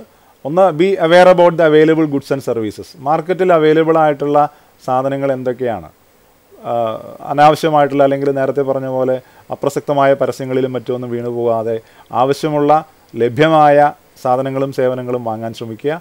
ബൈ ഓൺലി സ്റ്റാൻഡേർഡൈസ്ഡ് പ്രോഡക്ട്സ് എപ്പോഴും വിലക്കുറവ് മാത്രം നോക്കി നമ്മൾ പോകാതെ സ്റ്റാൻഡേർഡൈസ്ഡ് ആയിട്ടുള്ള ഹൈലി റെപ്യൂട്ടഡ് ആയിട്ടുള്ള പ്രോഡക്റ്റുകൾ മാത്രം സ്റ്റിക്ക് ഓൺ ചെയ്യുക.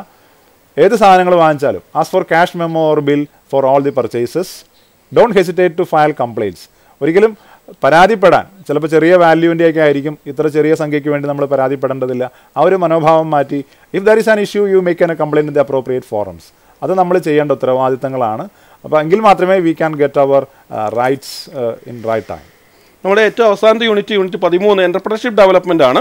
എന്റർപ്രണർഷിപ്പ് ഡെവലപ്മെന്റ് ബന്ധിപ്പിച്ചുകൊണ്ട് മൂന്ന് സ്കോറിന് വെയിറ്റേജ് ആണ് എന്റർപ്രണർഷിപ്പ് ഡെവലപ്മെന്റ് ആയി ബന്ധിപ്പിച്ചുകൊണ്ടുള്ളത്. അപ്പോൾ അതുമായി ബന്ധിപ്പിച്ചുകൊണ്ടുള്ള ഒരു ചോദ്യമാണ് നമ്മളിനി ചർച്ച ചെയ്യുന്നത്.